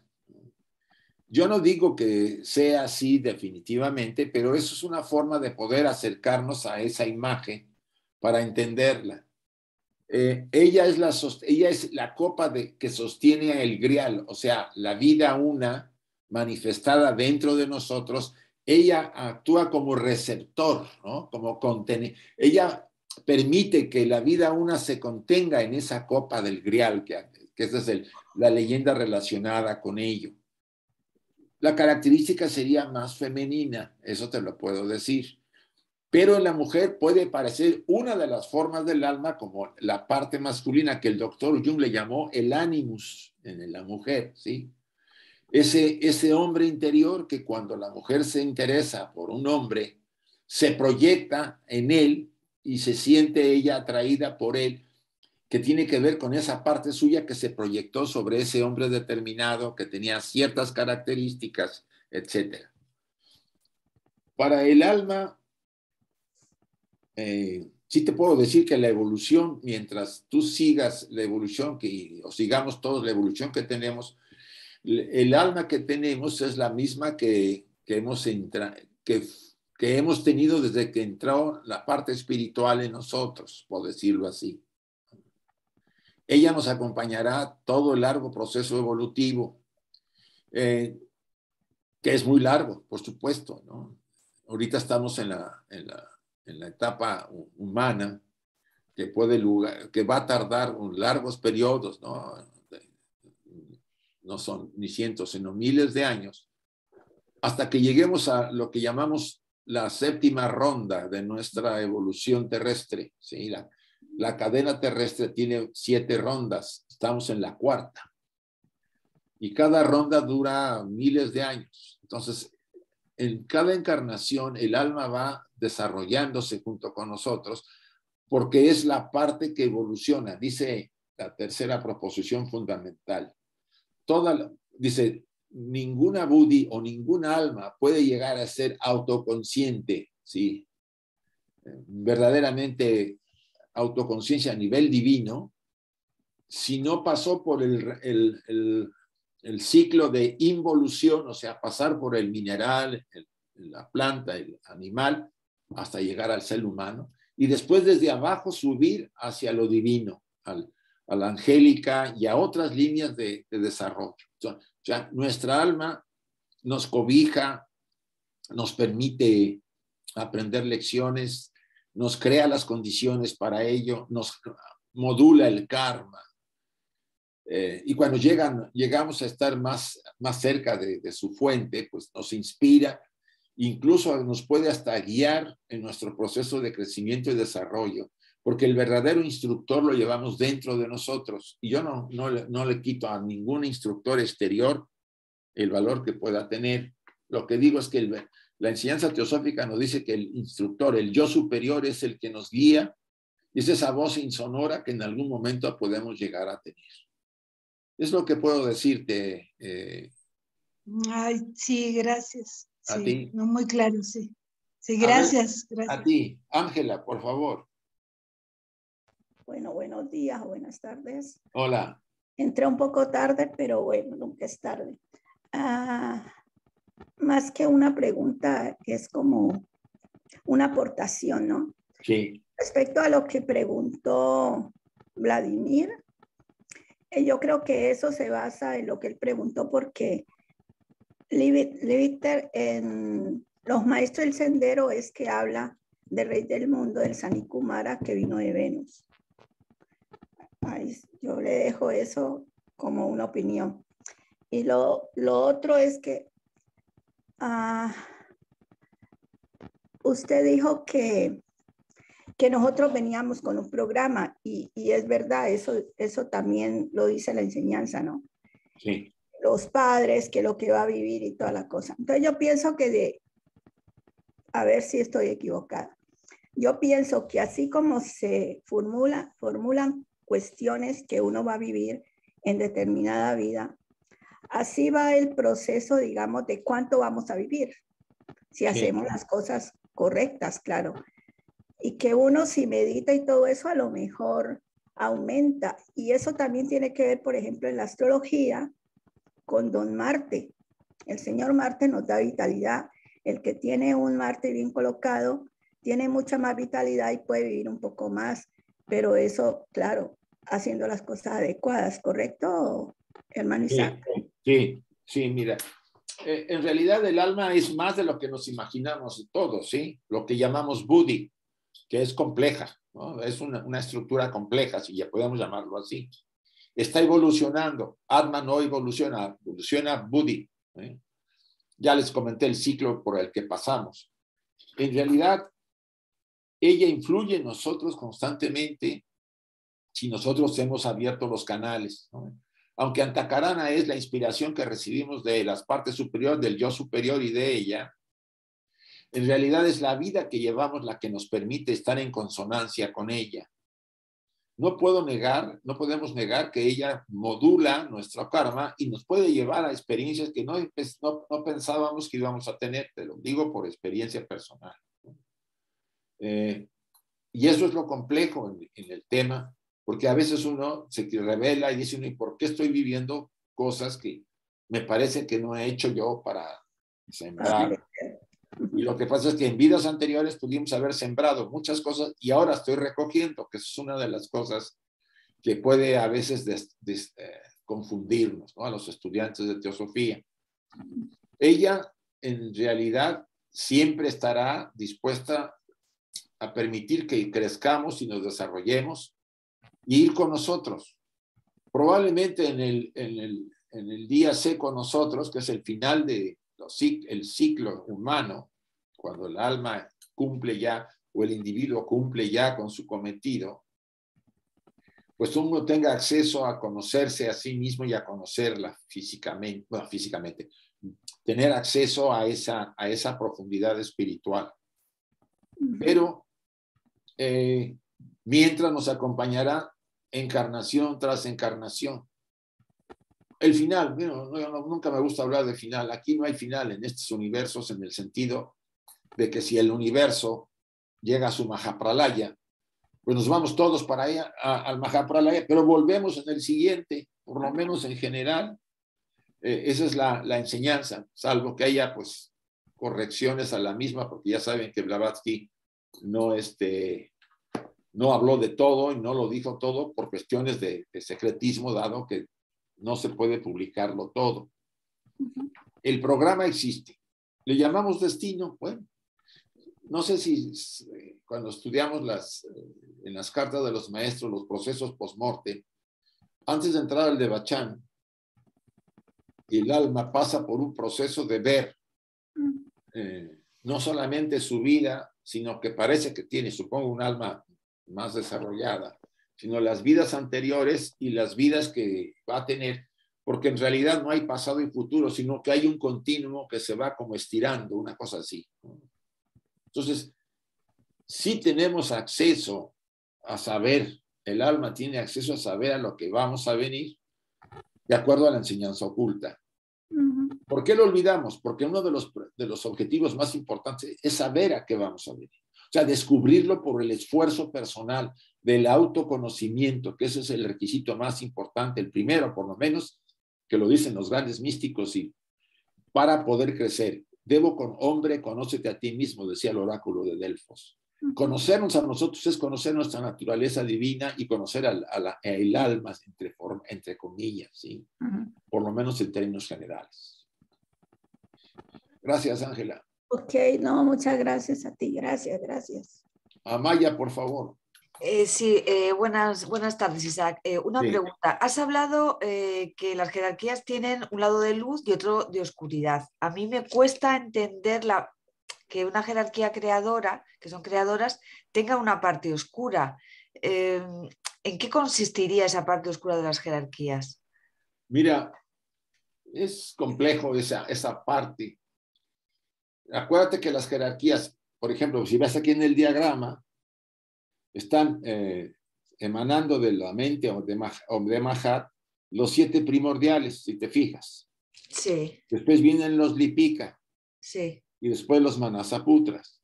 Sí. Esas jerarquías están muy cerca de la fuente de, la, de Mahat, que es donde emanan.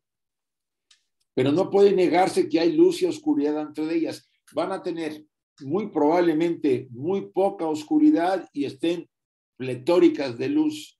Por eso la conciencia en esas jerarquías es muy activa debido a las miles de encarnaciones que han tenido. Sí. Entonces, en nosotros está ese aspecto. Ahora, si tú lo ves, está separado en el triángulo, en, la parte superior es la luz y en la parte de abajo la oscuridad, pero todas emanan de la arista del, del lobo sin manifestado. O sea, la idea es unir esas dos ah, polaridades en el, nuevamente en la fuente de donde emanó. Sí. Cuesta trabajo. Ahora, estas jerarquías están más cerca de la fuente, hay más espiritualidad. Vamos a decir, hay 90% de espiritualidad y 10% de oscuridad, por decir algo. Ajá. Pero a medida que te vas retirando en las jerarquías eh, abajo de los manasaputras, eh, hasta llegar al ser humano, hay, más hay mucho más materialidad y menos espiritualidad. Sí. ¿Qué quiere decir?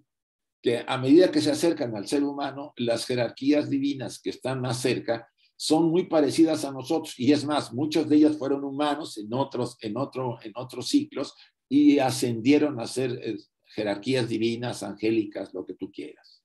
Pero ellos vibran mucho en la parte material. Por eso dice San Pablo en los Evangelios, o Pablo, dice que el hombre, el ser humano en su desarrollo espiritual, va a corregir a las jerarquías divinas, o sea, va a juzgarlas, y se refiere, para mi opinión, a las jerarquías más materiales. Ajá. ¿Sí? ¿Me puedes entender eso? Sí, sí, sí. Ahora, no interpretemos eh, el tema de, la, de las jerarquías, pues tenemos que entender, chicos, hay jerarquías de la luz y hay jerarquías de la oscuridad, no se puede evitar. entendámoslo. Esas existen, las dos. ¿Cuál es el objetivo? Que se mantenga el equilibrio. ¿Sí? El equilibrio de la luz y la oscuridad, de la materia y el espíritu. Hay un equilibrio. Mientras se mantenga el equilibrio, no hay problema. Yo no puedo destruir el mal como dice Blavatsky, porque se destruiría el bien. No puedo destruir la oscuridad porque destruyo la luz. Véanse aquí este párrafo, qué bueno que, me, que lo sacamos. Miren, dice, no hay demonio alguno, no hay ningún mal fuera de la humanidad para producir un demonio. El mal es una necesidad y uno de los sostenes del universo manifestado. Es una necesidad para el progreso y la evolución. Y del mismo modo que la noche es necesaria para la producción del día, si no hay noche no hay día, y la muerte para que la vida se dé, para que el hombre pueda vivir por siempre. ¿Comprendes esto? Sí. Maya. Sí, sí, sí. Es necesaria. Ahora, Blavatsky insiste, dice, el mal, mal, como lo manejamos los hombres, lo generan nuestras mentes, ¿sí? Ignorantes. Sí. Pero las polaridades, o sea, las fuerzas que se mueven en el cosmos, vibran en esas frecuencias, ¿sí? O sea, una cosa son esas dos fuerzas. Si tú analizas, la luz y la oscuridad son lo mismo. Sí. La materia es espíritu que vibra más densamente. La oscuridad es espíritu que vibra a esa densidad. Sí. O sea, no, todo el universo es sagrado y es espiritual. Todo. Sí, sí, eso es verdad. Ahora, a nuestros ojos, bajo el velo de Maya, pues vemos estos, estas polaridades que en realidad, más allá de este velo, no existe como lo vemos en el sentido concreto de separación, ¿sí? Todo es una unidad de vida. Ajá, sí, sí, sí. Muchas gracias, Isaac. Gracias a ti. Carlos. Ya es el último. No sé si me mencionaron a mí. Sí, Carlos. Yo creo que Eh, gracias, mucho gusto. Este, gracias por el estudio. Eh, Hacía un comentario respecto a lo que habían comentado en los comentarios precisamente de Adisanat en esta parte, en esta estancia 4 en la esloca 5. Definitivamente es como tú dijiste, este de a este que se refiere, Adisanat es el logo, el primer logo, es el número, pues él es uno. Eh, me, estoy bien, bien en eso, ¿verdad? Sí. Sí, lo que pasa es que vamos a encontrar, yo trato de evitar hasta donde puedo la terminología. Eh, o sea, nuestra idea es dar la línea ocultista, porque Blavatsky pone, saca ejemplos de Cábala y de la tradición y de los Puranas, y de esto, del otro, y empieza a meter para confirmarle al estudiante que la fuente que está ella comentando está apoyada por muchas corrientes. Entonces, ¿qué pasa? Que a veces yo he puesto incluso en la guía una especie de diccionario de, términos, ¿no? porque Shvababat, por ejemplo, ¿no? Mula Prakriti, todos esos términos que son sánscritos, pues pueden en un momento dado generar un poquito de confusión. Yo no me los puedo aprender todos de memoria, algunos sí los tengo muy claros porque los he repetido, pero otros no. Pero son a veces los términos que se califican, por ejemplo, para el logos inmanifestado, para el segundo logos, espíritu materia, para el tercer logos, que es Mahat, la mente. Entonces, esas variaciones de terminología, pues nos confunden. Nos confunden porque en un momento dado decimos, bueno, es lo mismo que esto, pero yo pensaba, no lo había yo considerado así. Pero sí, estamos hablando desde de, de, más o menos lo mismo. Gracias, muy amable. A ti.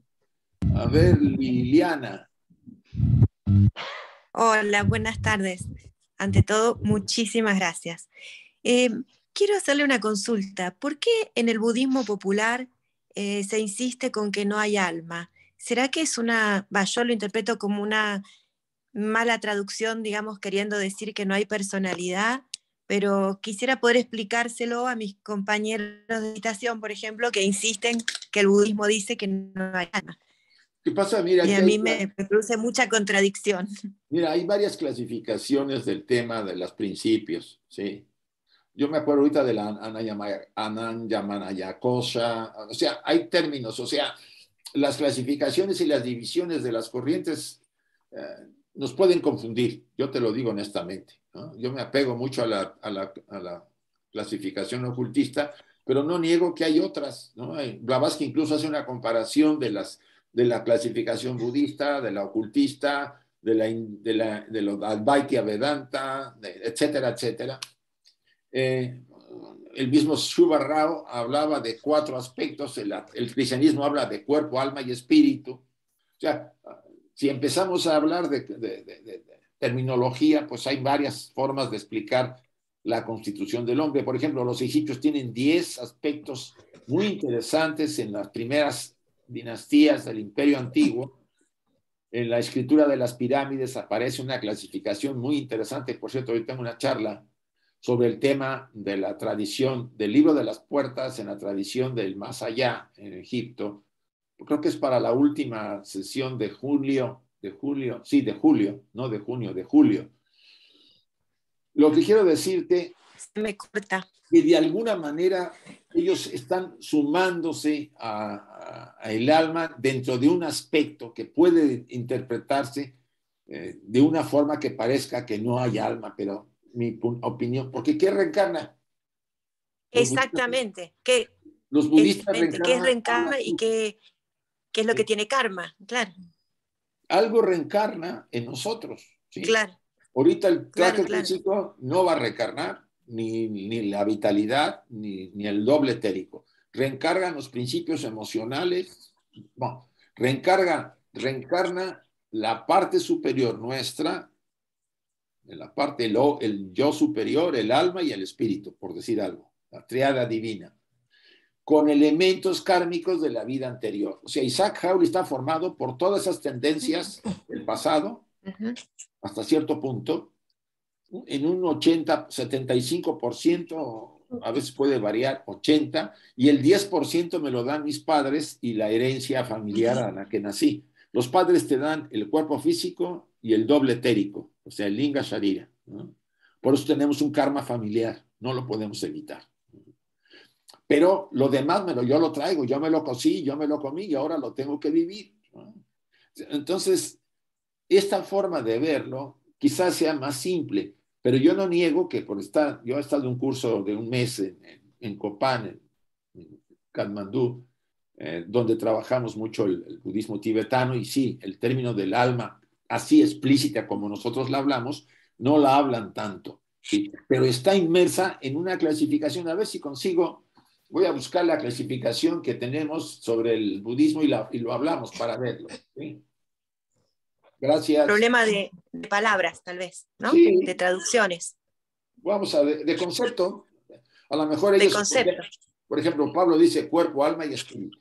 Y cuando dice alma, no solamente mete, eh, o sea, parte de la personalidad y parte de la parte superior. O sea, no, no distingue muy claro. En cambio, las, la clasificación este, ocultista habla de siete o de diez o de doce principios en nosotros, ¿sí?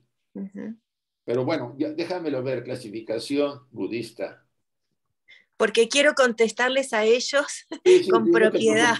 Sí, no, no, lo voy a ver. Hay una tabla. O sea, yo no tengo, no tengo duda, sino que quiero explicarle por qué el budismo dice eso. Me gustaría saberlo. Sí, sí. Muchas gracias. A ti. A ver, Yoli, por favor. A ver, no sé si me voy a saber explicar.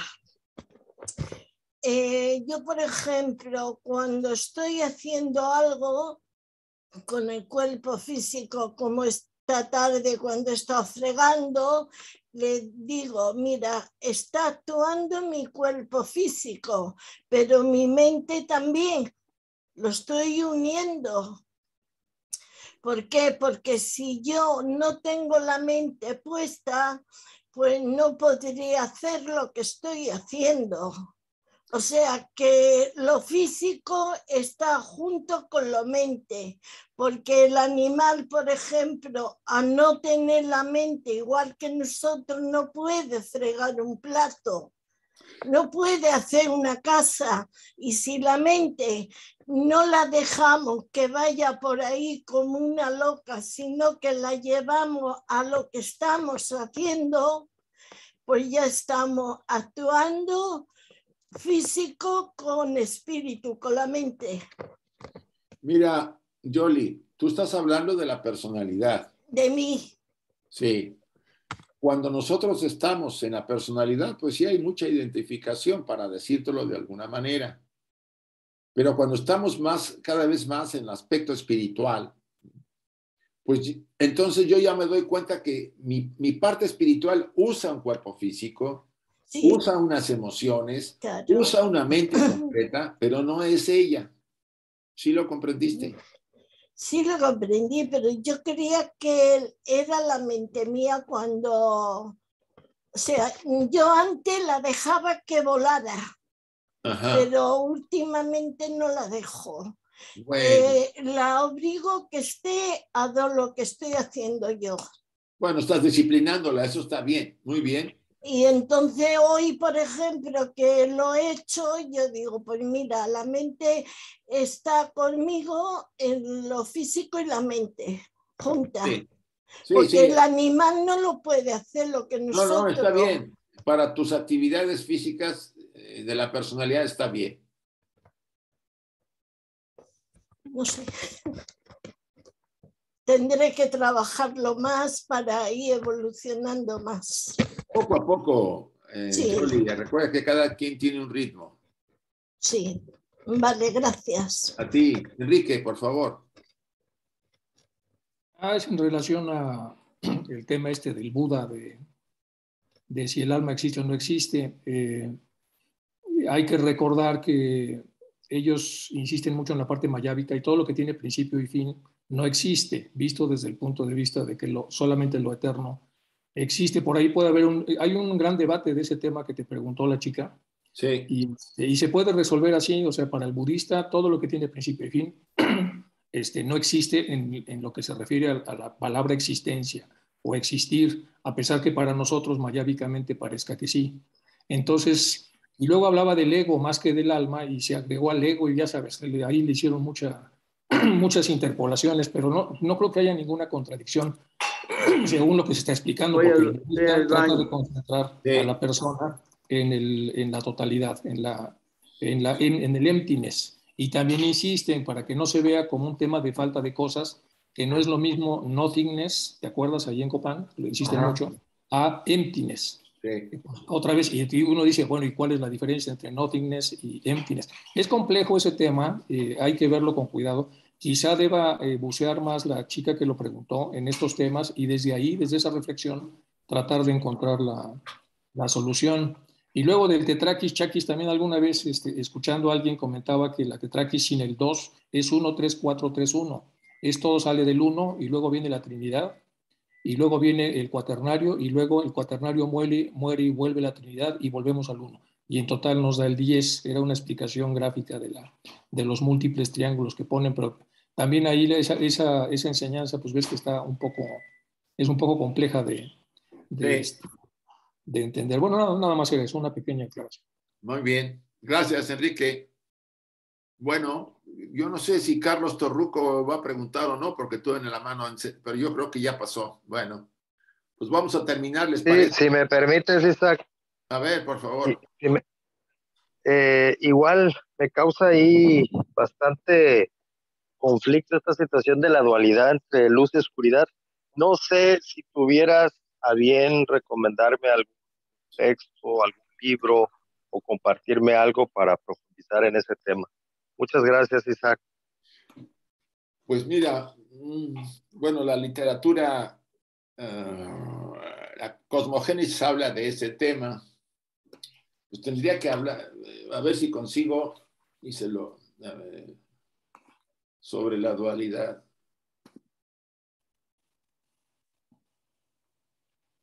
Jackie, ¿puedo comentar algo de ese tema? Sí.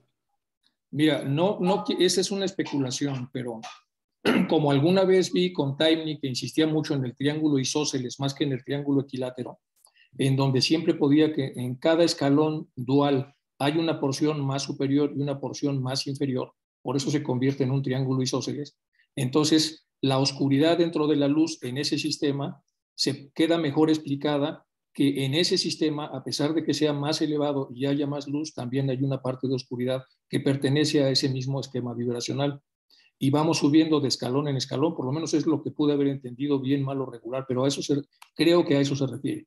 Si lo vemos como triángulos equiláteros, suena como muy raro, pero si lo vemos de esa manera, podemos entender que la parte más oscura de las divinidades en realidad es infinitamente más lumínica que la parte luminosa de donde estamos si lo vemos de esa manera y así entendemos cómo vamos ascendiendo o descendiendo en función de cómo nos movemos dentro de ese, de ese sistema doble, muy a grosso modo creo que puede ir por ahí la explicación, aunque es una, es una especulación. Es que, bueno, yo en el pasaje este de Blavatsky lo dice mucho, ¿no? Hemos tenido que pasar por la, eh, esa parte del mal para despertar, porque nuestra ignorancia desde las formas más primitivas en las que nos desarrollamos en la tercera raza lemur, poco a poco hemos ascendido escalón por escalón a base de sufrimiento y de acciones negativas, etcétera, eh, aprendiendo y saliendo de esa, de esa ignorancia original ¿no? en que la humanidad estuvo hasta llegar a lo que estamos. Es obvio que es necesario entender que es, como dice la, la enseñanza, el la primera declaración, el, primer objetivo, ¿no? La unidad de vida está permeando y sosteniendo el cosmos, pero esa unidad se descompone en la dualidad y después en todos los aspectos que conocemos. De todos modos, voy a, buscar sobre el tema de la dualidad para recomendar alguna lectura aquí a, Ricardo, ¿no? Era Ricardo. Muy bien, pues vamos a terminar. Salomón, otra vez, ¿quieres? Sí, por favor, Isaac. A ver.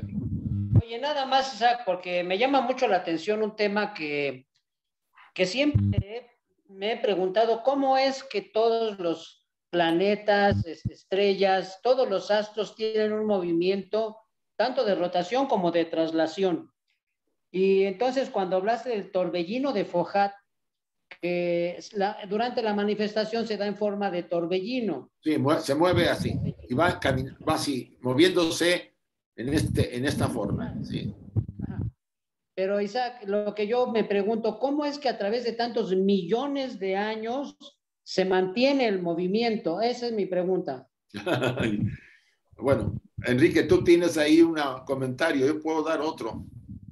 No, bueno, es una pregunta muy complicada.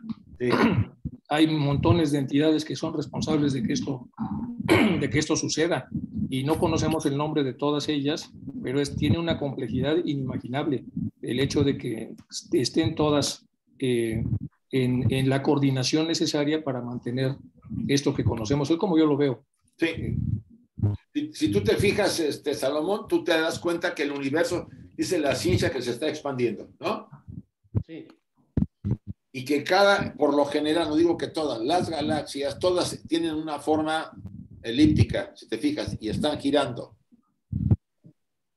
Esa forma de, la, de las energías que en su momento surgieron en, el, en la segunda creación, en la secundaria, llevaba esta, la energía se movía así, Fojat se mueve en ese movimiento y toda la materia Kasha y todas las energías que forman el cosmos ya material giran y se mueven. Entonces se van desprendiendo esas energías y se van formando, una opinión así, las galaxias, los sistemas, los planetas, etcétera, etcétera.